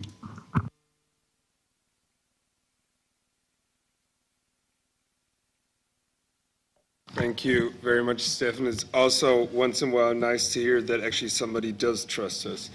Um, without further delay, we would uh, continue with Malcolm Hutty, president of EuroISPA, and then have a combined question answer round after that, except there's anyone who urgently has a question directly addressed uh, towards uh, Mr. Krawczyk. That doesn't seem to be the case, so we have a chance of gaining time. Please, Malcolm, you have the floor. Thank you, Mr. President. Ladies and gentlemen, thank you for the invitation to speak here today. Uh, my name is Malcolm Hutty. I'm the president of EuroISPA, which is the Europe's trade association for internet service providers, representing the interests of more than 1,800 internet service providers in Europe um, and internet businesses generally. And I'm here because I believe that in, with the information society becoming an ever more important part of people's lives, placing liability on the internet in intermediaries for what end users do is a serious attack on their fundamental rights. And because I'm concerned that maybe, just maybe, ACTA could become one of the many routes that some stakeholders are using to seek to achieve that. So, is there a real threat? Now, Monsieur Devigne has said that he doesn't want to talk about the details of leaked texts, and I think that's helpful because none of it's agreed until it's all agreed anyway. But it's, so I'm going to try and speak instead about the generalities, about the broad principles, what we think is important to respect when you're agreeing this text, rather than about the micro detail. But at the same time, it won't be entirely possible when I give this presentation to avoid everything that's come up as a result of the leaks. It's clear that the leaks have shown that some proposals to limit the protection of internet intermediaries have been on the agenda, and so it's important to discuss whether or not that sort of thing should be allowed to go through. And I, the secrecy of the negotiations leaves the disposition of the parties somewhat unclear. We've heard some pretty solid assurances from Mr. Devigne today, but until we see the final text, until we see it, even in a leaked text that says EU reservation on this clause, we have to worry that maybe some things are open to trade. So let's instead look at what we would like to see, or rather what we would like to avoid seeing in the, in the text. I should say a little about the position of internet service providers that I represent in society. We're service providers. We provide an important service to society. We're also commercial entities. That means we do it on a commercial basis. That means we can only do it provided it continues to be commercially viable. We're also innocent intermediaries. We're not the people that the copyright holders making complaints are complaining about. We're not actually infringing people's copyrights. That's end users. And we have social responsibilities to all of you to comply with legal requirements, to cooperate with law enforcement, and to ensure some respect for your legal rights and fundamental rights as customers. And we know that there is a community out there that has been lobbying very hard for ever stricter copyright enforcement measures that are being contemplated in some countries and regions around the world at the moment. And we know that some of those lobby groups would like nothing more than to insert some of those measures into ACTA or anywhere else that they can get a purchase.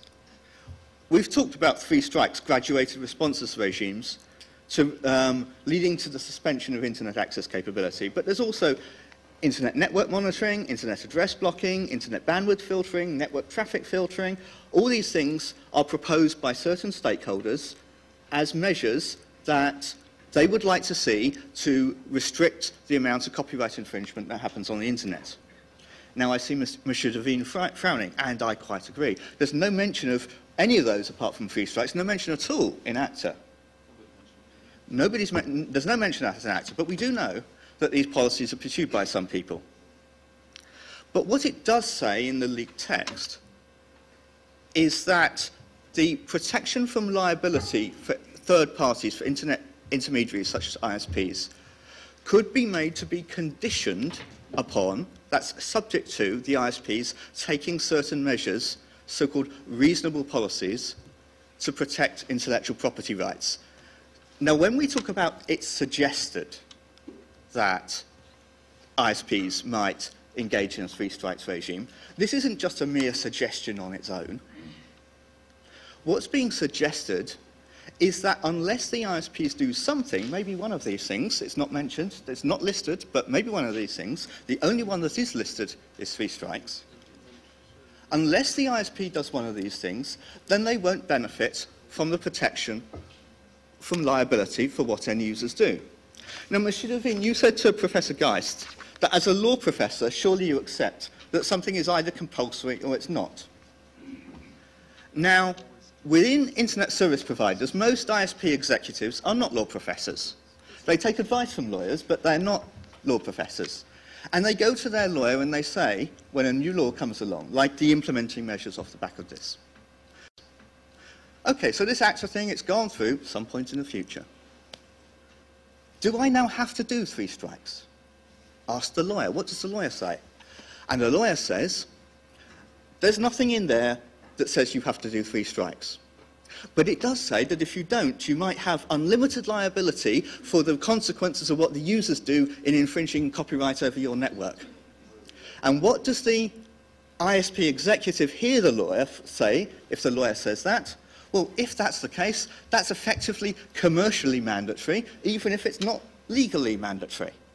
If you make it impossible to run a network on a commercially viable basis, it might as well be legally, without doing something, it, you might as well make it legally mandatory to do that thing. It amounts to the same thing. So I understand, Monsieur Devigne, why you have felt very frustrated with people questioning your word here because you said very clearly that there's nothing in the treaty that, or this, these proposals that requires, that makes it mandatory to do three strikes.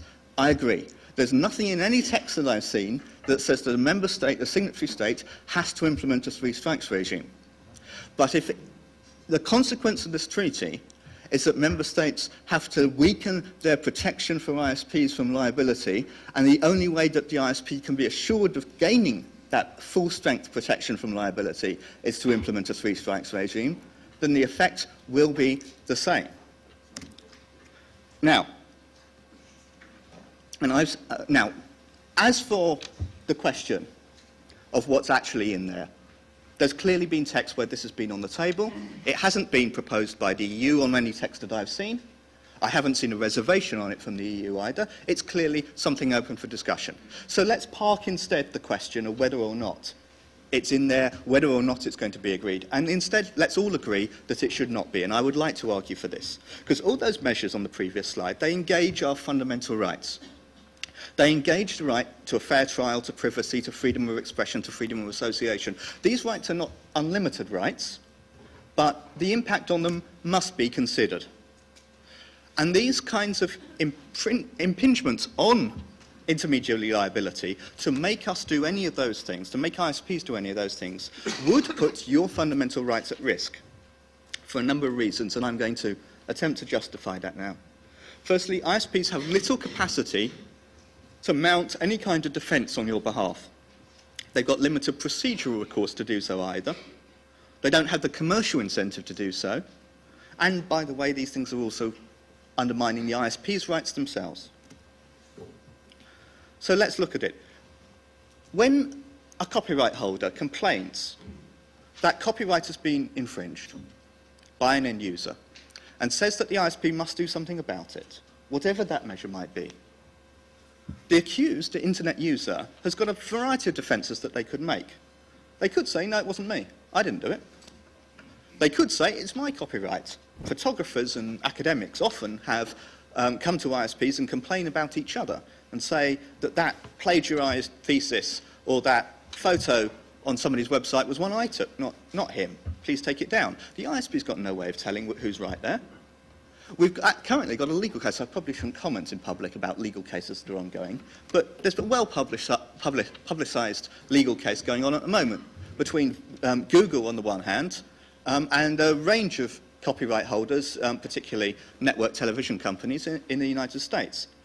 Um, and that's about um, copyrighting YouTube clips.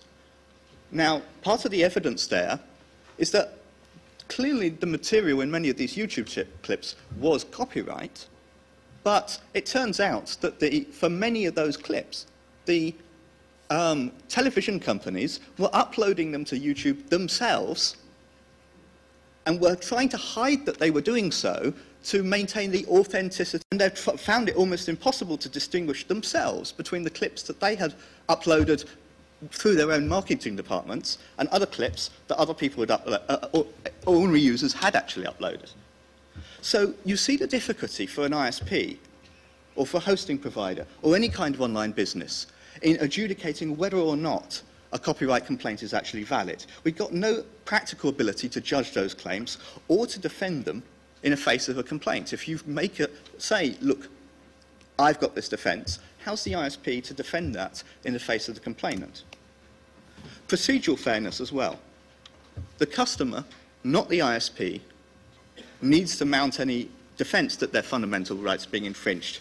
It's not good enough to say, oh, well, the ISP could mount that defence on behalf of its customer. That doesn't necessarily protect the, the end user. The end user has a right to be involved themselves. In some procedural matters, only the end user the, the, um, can mount the defence because they um, have particular protections, such as legal cost subsidy, legal aid in some countries, or whatever, or various forms of legal cost subsidy that would not be available to an ISP. So, yes, of course, as an ISP representative, I believe it's very important that there should be fairness to the intermediary, fairness to the ISP in the rules. But fairness to the ISP is not sufficient to ensure fairness to the end user. You must be, um, provide that as well. Fi um, also, um, commercial conflicts. If you think that maybe the ISP could stand in your shoes and defend your rights, bear in mind that if you're only paying 10 euros a month or something like that for your broadband connection, that doesn't really fund a very strong legal defence on behalf, uh, for your ISP on your behalf. Um, and ISPs may well have comp competing commercial interests, like seeking to get a relationship with the copyright holders. So it's not good policy to expect and require to rely on the ISPs to defend end users' fundamental rights. The end users must be given fair protection for their rights directly and in their own name. Now, of course, I'm knitted, I'm a lobbyist for the interests of internet service providers. And so I'm naturally concerned that proposals treat ISPs unfairly with regard to their own businesses too. Now, the various measures, whatever the measures are, often take the perspective that the ISP is a gatekeeper for the internet. But that gatekeeper perspective is just a way of complainants transferring costs from their business to the internet service provider. Of course, it's easier for complainants to target the ISP rather than going out after many thousands of end users of, uh, who uh, they think are infringing, especially when the costs of actually dealing with that complaint are going to land on the ISP, whereas if they targeted the vast numbers of ordinary end users, the costs would lie with the complainant. That doesn't make it fair to the ISP.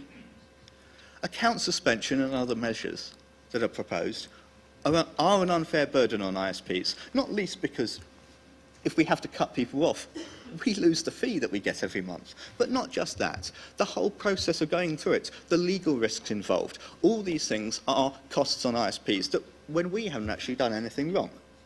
Perhaps most important, the technical measures that are proposed in many quarters, whether through ACTA or, or people lobbying in ACTA or other, other ways, routes, are a strategic threat to the ISP's core business.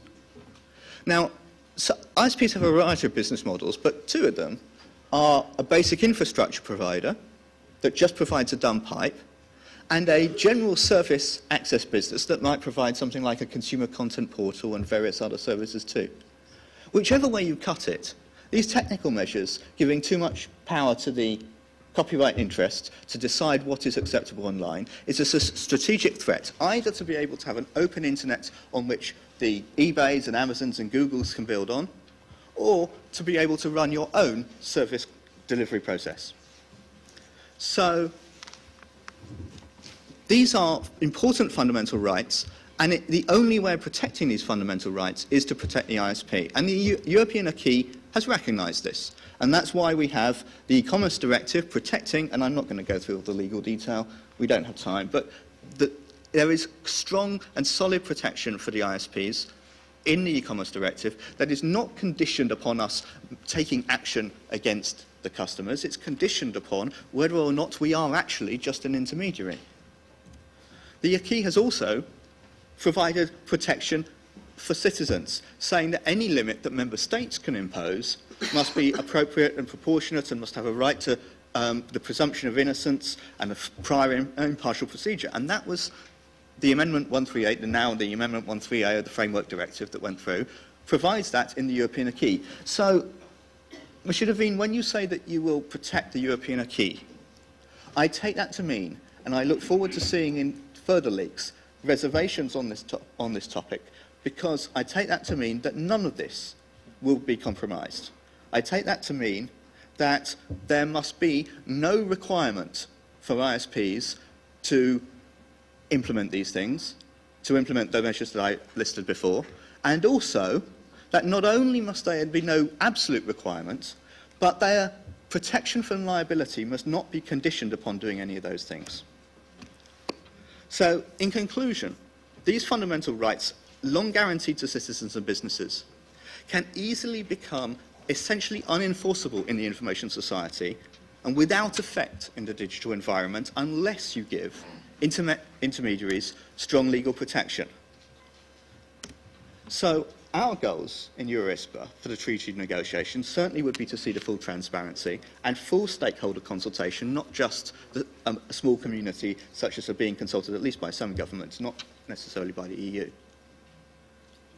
But also strong adherence to the community acquis. And that means that ACTA, I would like to see being limited to counterfeiting, uh, to combating counterfeit goods. And failing that, we must fully respect the rights of internet intermediaries in a digital environment if we are to see our own rights as citizens um, protected. We must avoid making ISPs the copyright police.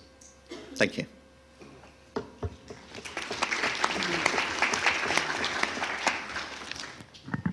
Thank you. Thank you very much. Um, see? Please. Thank you, Chairman. My name is Schreiber, and I'm working for the European crop protection industry. That means the producers of agricultural chemicals. And I dare to turn away from internet and electronic commerce because our industry is very much concerned by counterfeit increasing in tremendous amounts. Uh, I got not only confused by the speakers, I got also a bit inspired to ask a political and a business question. The hot issue, one of the hot issues of the debate seemed to be, yes, ACTA should not go, uh, go beyond the acquis communautaire. I say, why not?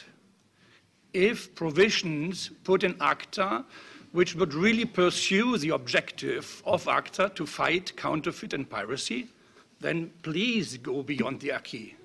For three reasons. A, and please answer that, a, I know in the negotiations between the European Union and third countries on FTAs, we impose all the time on third countries to change their laws, happily for many industries and with success, because we want them to adopt our rules because we think they're wonderful, and in many cases they are. B, I'm sure the first time we will see the draft text of ACTA, the Commission will consult all kinds of stakeholders. So there's still a long consultation process. And C, we have a so-called ratification process where people or institutions like the European Parliament can still intervene and so on and so on. So that's the political question. Why not going beyond the acquis? The business question, I like Mr. Krawczyk's comment. Yes, in the e-commerce directive, we have host liability.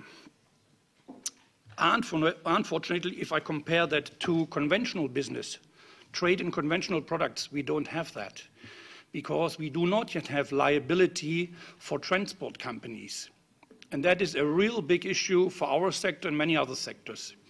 Maybe ACTA can look at that. Maybe it is already in the text. I don't know. But we would be delighted to see any progress on that. Thank you. Thank you very much for extending the wish list. Um, please, I believe there's been a question uh, dedicated to you. Why not go beyond the acquis communautaire? I want to come out of this place alive. no, simply because uh, legislation is made uh, in the European context by institutions, uh, Council and now Parliament on trade matters, on proposal by the Commission. And it is not uh, uh, through uh, international negotiations that you can short circuit all that. But I, I, hear what you say. I know that your industry is facing difficulties since uh, I deal with that uh, through a number of uh, intellectual property negotiations with uh, third countries who are often the source of, of these dangerous counterfeit. so I, I, understand the problem, but I'm afraid I will not go nearly as far as you, as you suggest. Uh, on this. Um, and also one correction, we don't impose things in FTAs, we propose. These are agreements between sovereign states. Um, perhaps uh, can I say one word to Mr. Uh, Hutty uh, and Hutty, yeah. yes, pronunciation. Um, and I'll be extremely consensual and boringly consensual because I agree with everything you say. Your wish list that we don't go beyond the acquis is not a problem at all for me. Um, I will not go through details, but uh, the important topics, uh, right of privacy, uh, the current system of conditional liability, uh, to put it technically uh, correct, um, uh, in, the, in the European law, it's, it's, not a problem at all. This is exactly what we're going to go. Once more, yes, we will not accept the three-strike rule, and nobody has proposed a compulsory three-strike rule. Um, if, that, if that can be more, more, more clearly. Um, you mentioned we put a reservation, we should put a reservation proposals. I mean, uh, it goes without saying we will not accept uh, any proposal going beyond that. Uh, I mean, ACTA negotiation doesn't work by reservation system, so we don't need to do that, but we simply say that we don't accept uh, any any three-strike rule compulsory, and that's it. One correction. May I, also, for clarity? I thought we'd move beyond that because I accepted that you weren't proposing yes, to impose a three-strike rule. We will not accept it neither. We you won't. Accept you it won't accept that's it right. being made a um, acceptable uh, requirement to condition the protection from liability. That's correct. That's correct. That's correct. That's exactly that, yes. We will not accept it as a condition to benefit from the safe harbor that you impose a three-strike rule policy. Is I mean, more clear than that I cannot be. Um, and so I, I, will disagree though with you to say that when something is not legally mandatory, can be commercially mandatory. I mean, this is not how we operate. This is a treaty. There are obligations or no obligations. Uh, but again, we will, we will, uh, we will make sure that uh, there is no such uh, condition because simply there is no such condition in Europe. Some countries have put that as a condition, but that's not a European-wide system. So at the same time, it's allowed in certain countries, but it's not the rule of the European Union, which we will defend. Thank you. All right. Now I have three speakers, and uh, I would need indications for further speakers. Otherwise, for this round, I would close the list afterwards. Good. I have uh, Stavros Lambrinidis, Joe McNamee, and our colleague, uh, Mr. Engström. Thank you, Alexander. I'm Stavros Lambrinidis. I'm a member of the European Parliament. Um, the, um, for Mr. Devigne, uh, two or three questions. Uh, I'm doing this in English, which you understand because I see you putting on the. Uh, okay. Okay, fair enough. The, uh, Uh, the commercial scale issue, um, as I listened to you speak about it, uh, I got a little concerned. I understand that we do not have a clear definition, but aren't you concerned in these negotiations that uh, by lacking a definition, uh, I may fly from an airport in Paris, where no one considers what I have in Paris to be a problem, but nevertheless be potentially arrested in New York because under their law, what I am carrying with me is commercially unacceptable.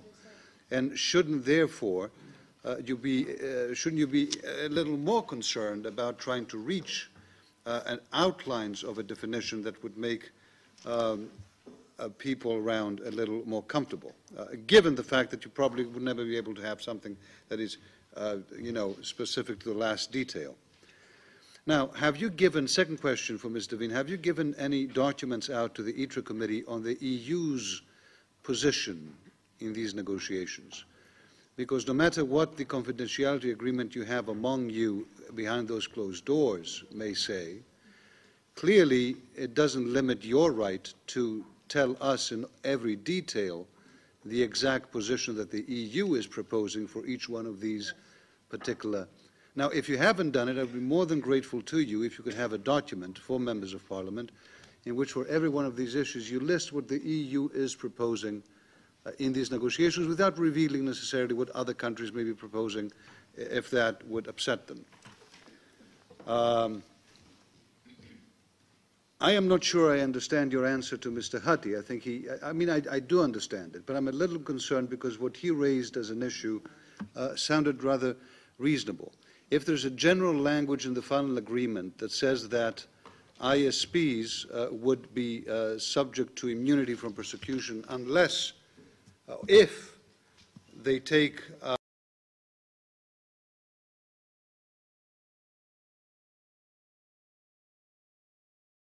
tens of thousands of people, and I'm very proud of what I'm doing at eBay. Uh, but if his, what he's doing were to be the standard, uh, for how one interprets then the, the agreement's provisions. then it wouldn't be the case that a number of other ISPs failing that standard uh, would miss liability. And therefore, and that is the, I think, very interesting point that you made, and I perfectly well understood the legal versus commercial implication.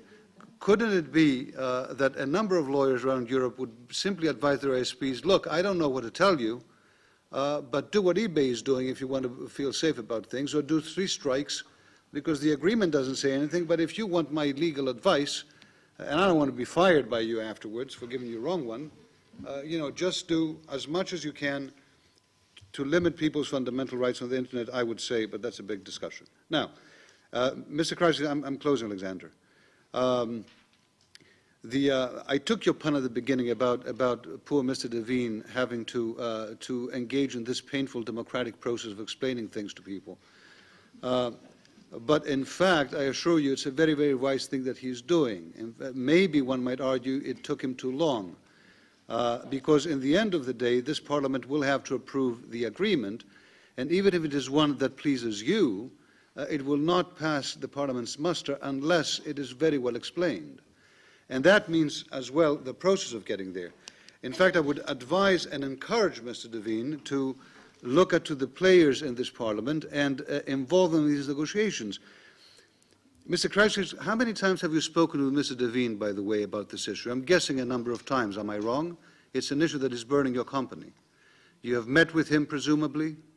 Yes.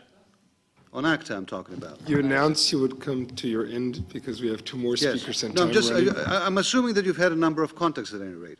More than the two contacts that you have had with the ITRE committee.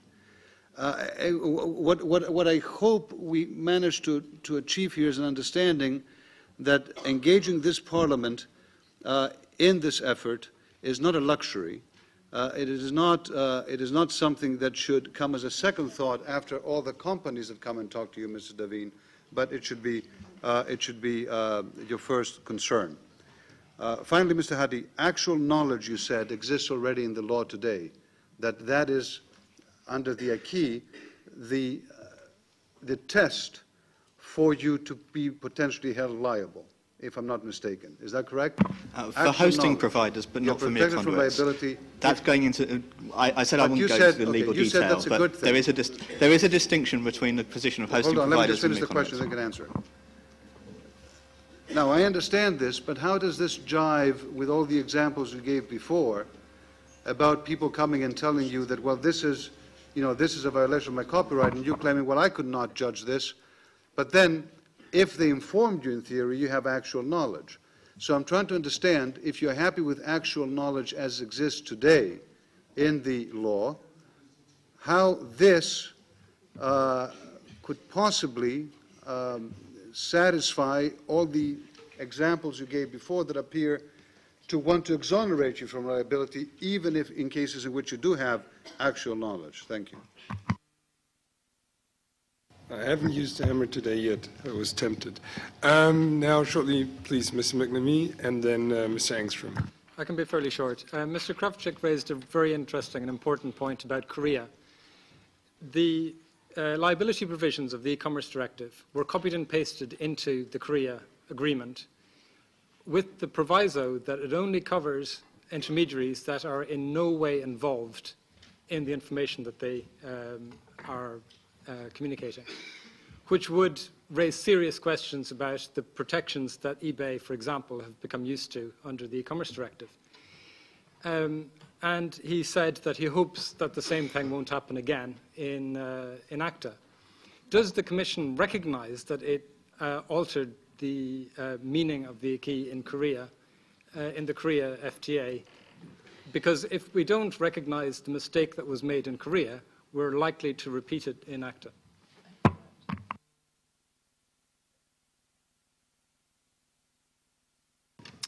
Uh, I'm Christian Engström. I'm a me mem member of this parliament for the Pirate Party.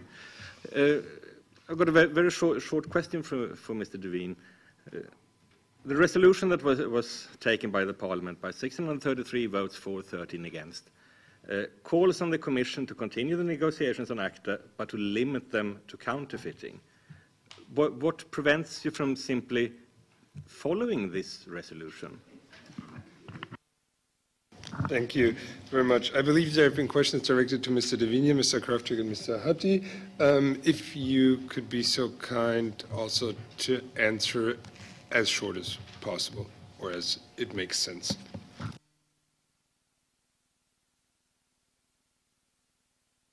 Because mine are really going to be short. Um, first of all, I should underline whatever I've said does in no way mean that I think this House should not be consulted. I hope that the conclusion of my um, what I said today is very clear. I think this House should very intensively be consulted uh, on ACTA by the Commission, so let there be no doubt about that.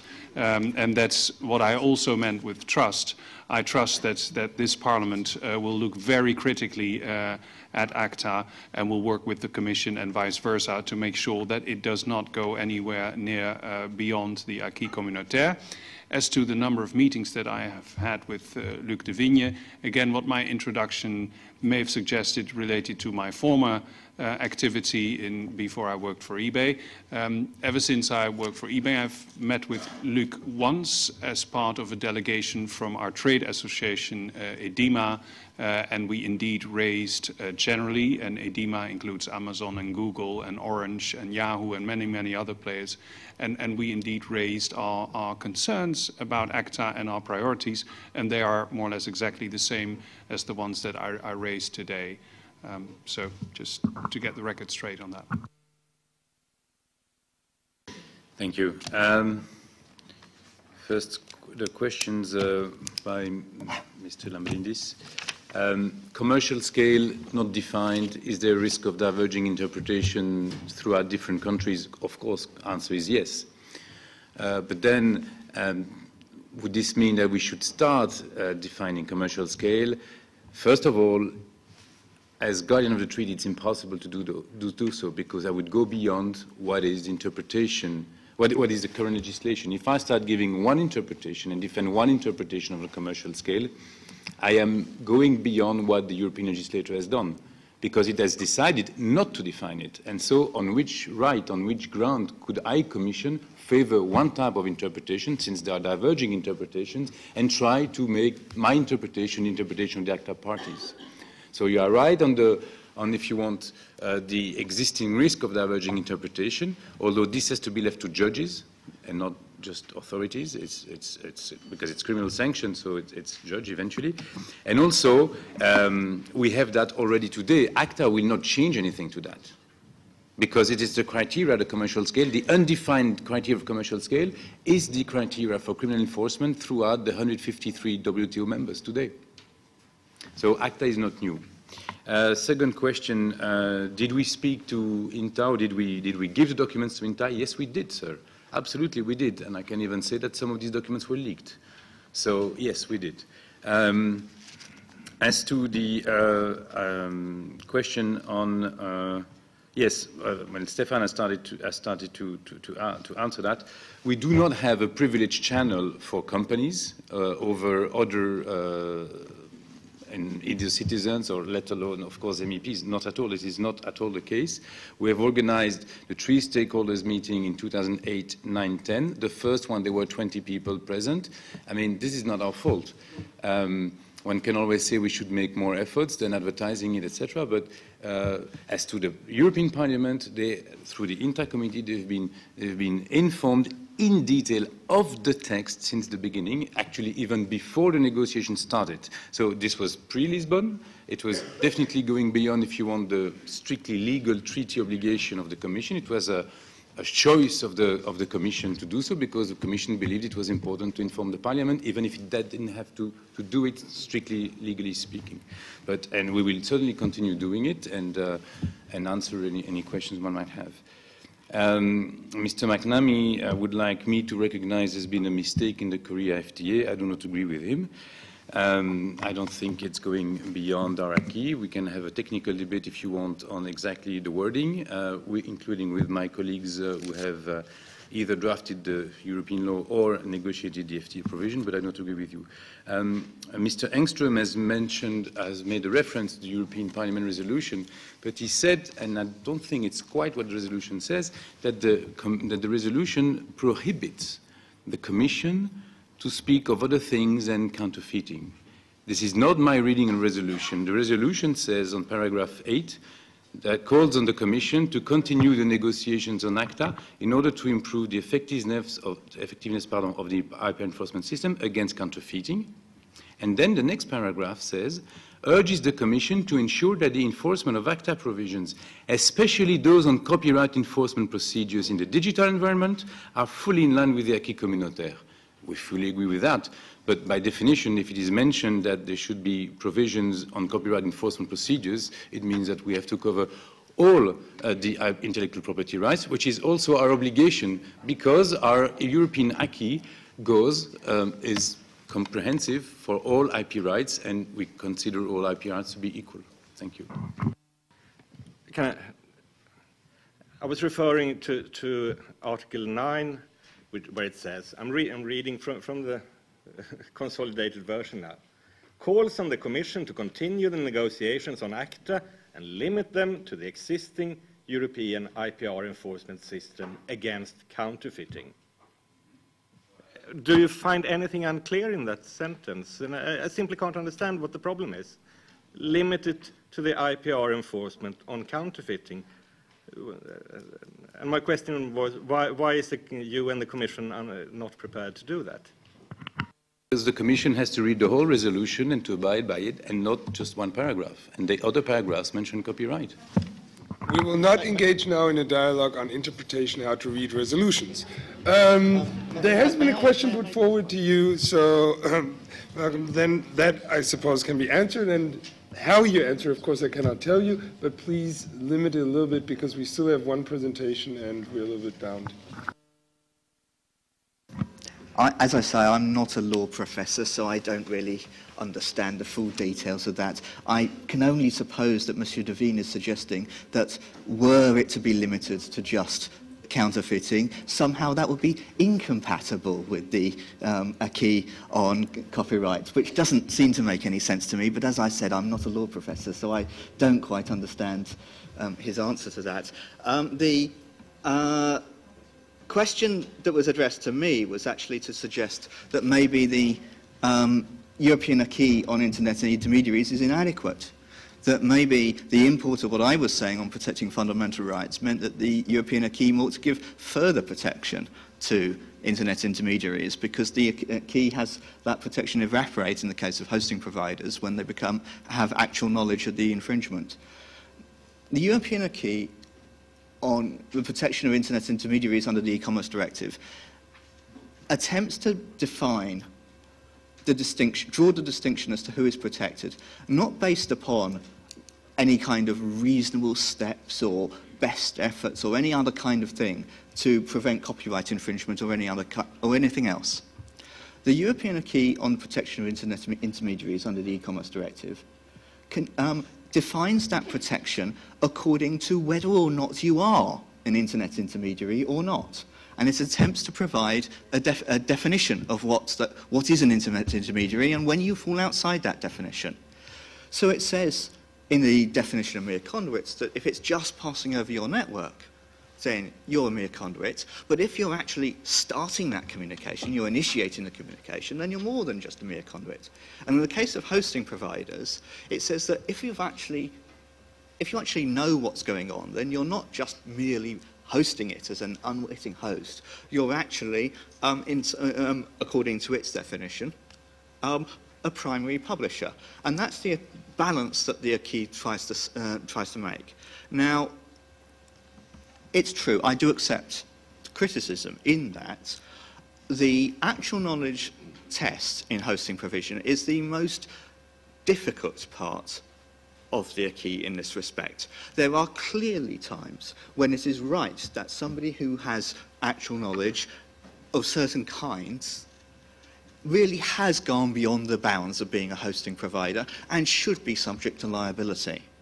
But there are also times when you, you are simply a, a, pure hosting provider and you're presented with a complaint that you don't know how to judge. So maybe at some time in the future, this would be the area that I would, would indeed like to look at again. But it is a careful balance because I think the attempt in the acquis to try and distinguish between what is a host, uh, an intermediary and what is going beyond being an intermediary is the right thing to try to do.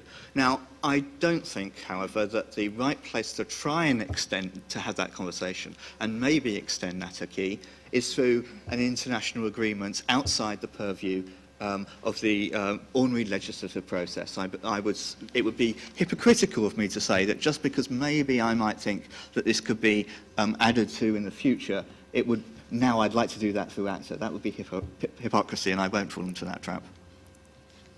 Thank you very much. Now, after the academics, the civil servants, business, and service provider have spoken, like in real life, the legal service comes and wraps it all up again. What actually is the truth and how is Parliament in these international agreements involved and what is our role?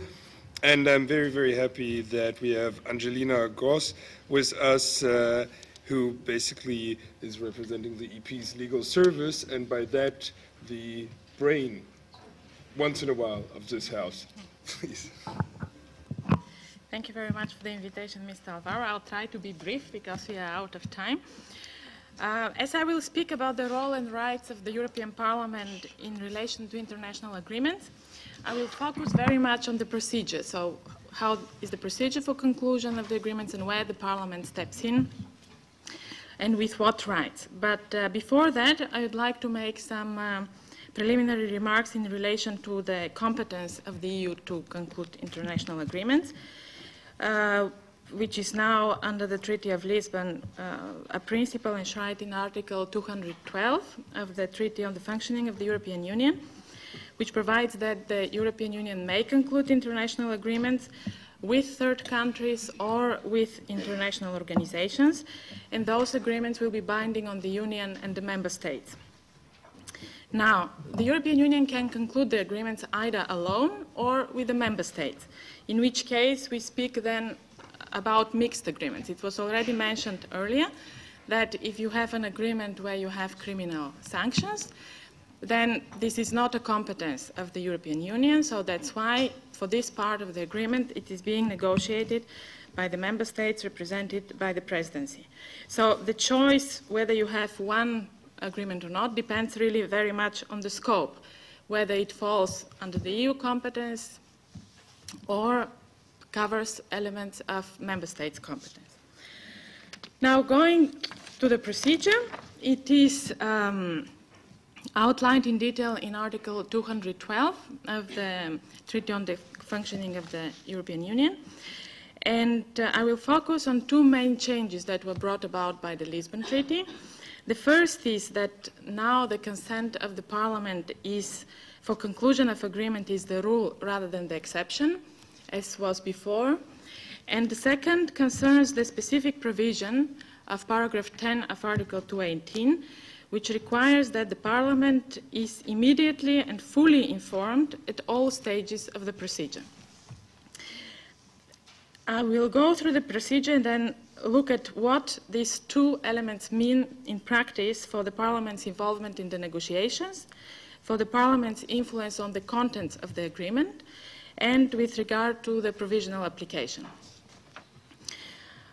Starting with, with, the procedure, because there were several questions, how exactly it, uh, it works in practice.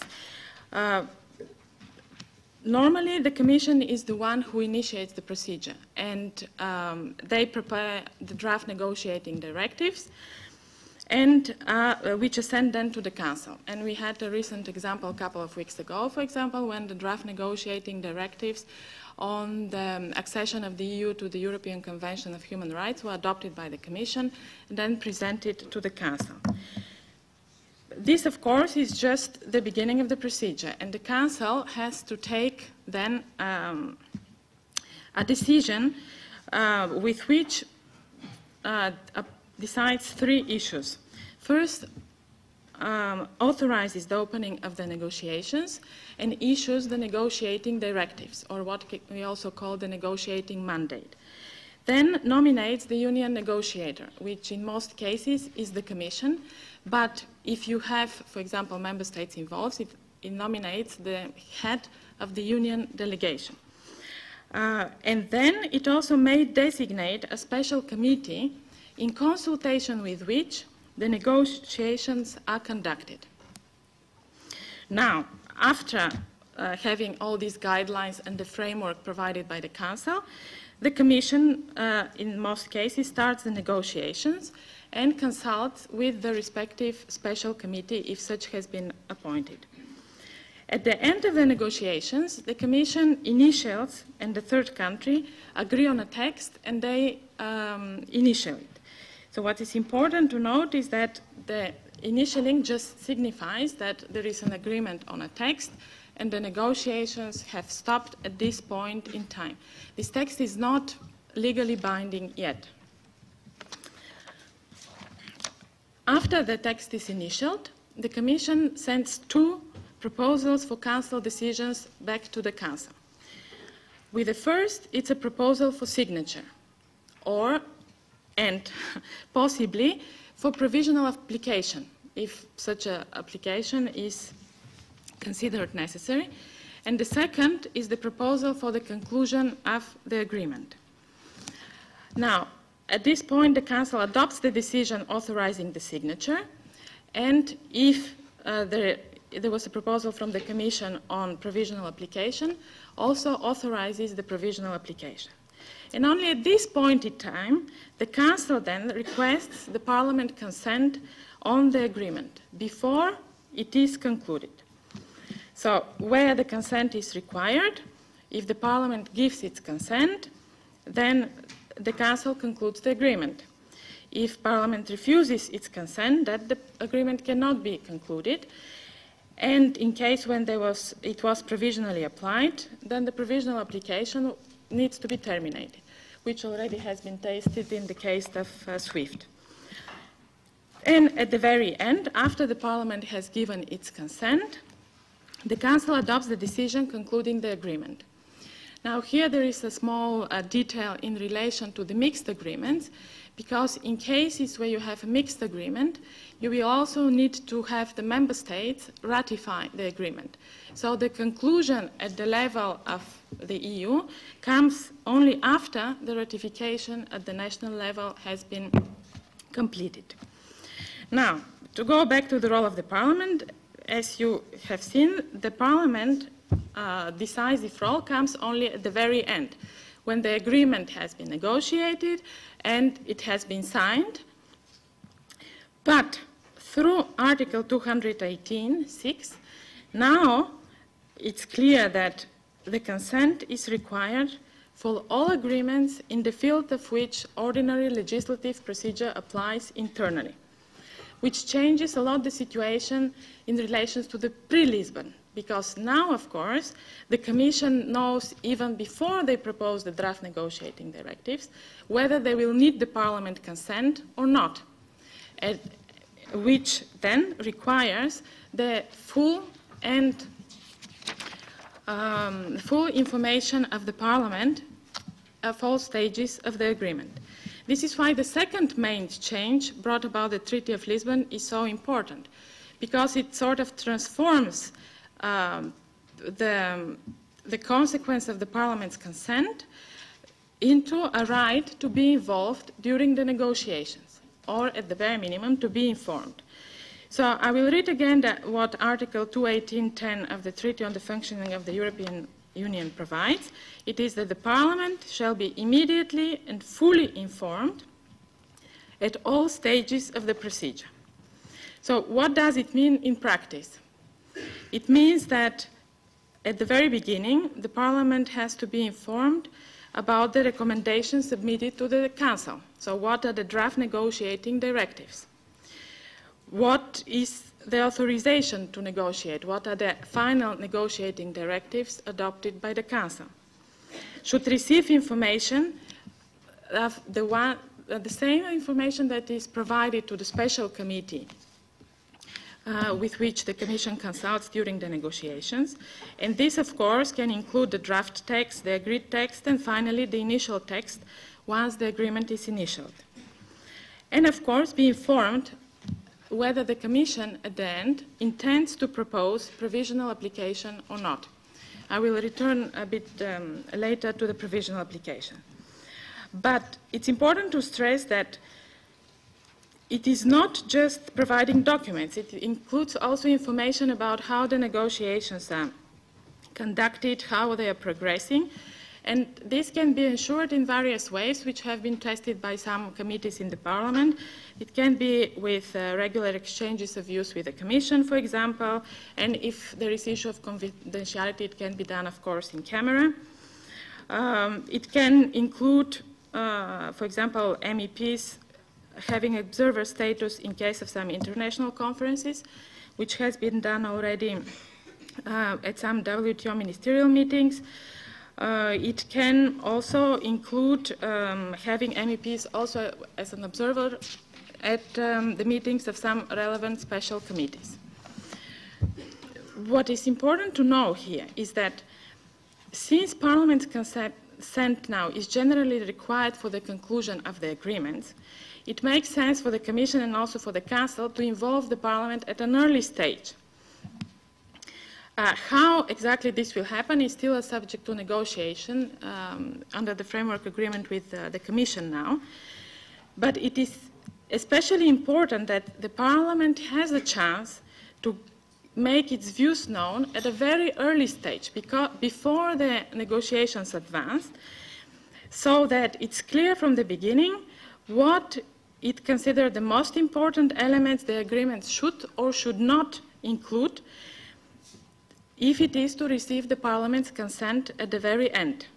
For example, this could be issues of human rights clauses or environment and social clauses, but it would be beneficial for all institutions and parties to have the Parliament's view clear at the beginning of the procedure rather than at the end where the Parliament has only the nuclear option of uh, not giving the consent to the agreement. having, that, that's why I said at the beginning that having the consent could create a right and possibility to influence the contents of the agreement. Because by being informed from the very beginning, by uh, stating clearly what is the no-go line at, and what are the essential elements for the Parliament at the agreement at a very early stage, this allows the Parliament to influence the contents of the agreement, but also it decreases, it's beneficial for the Commission and the Council because it reduces the risk for the Parliament to refuse its consent, to give its consent at the very end of the procedure. Now, I'll, I'll go briefly to the provisional application. As I mentioned earlier, there is a possibility of this intention before submitting it to the Council which would, of course, give the Parliament the time to express its position, whether it has strong reservation or not to the provisional application. Now, as I said, this is the general framework created by the treaty. And now, how these horizontal issues will be um, agreed upon and how the information flow um, will be organized with the Commission will depend very much on the a new framework agreement on relations between the Parliament and the Commission, which is in the process of being negotiating now. But the Parliament, in its resolution of 9th of February, has already indicated two elements that would like to see there. So the first is the reinforced association in the uh, negotiating process, and uh, the full use of Article 218.10, meaning being fully, immediately and fully informed at all stages of the agreement. And uh, what I also mentioned earlier, the, um, there is also a um, demand for exploring the possibility of including MEPs, rapporteur, uh, rapporteurs, or um, uh, chairs of parliamentary committee as observers at uh, various delegations. So, to sum up at the end, as I said, the possibility of the Parliament to influence the conduct of, the, of international agreements arises mainly from the fact that the Parliament has to give ultimately its consent to the agreement. And to ensure that such a consent is given, it is indispensable that, it is, uh, that, that the Parliament be fully informed throughout the procedure. Thanks a lot.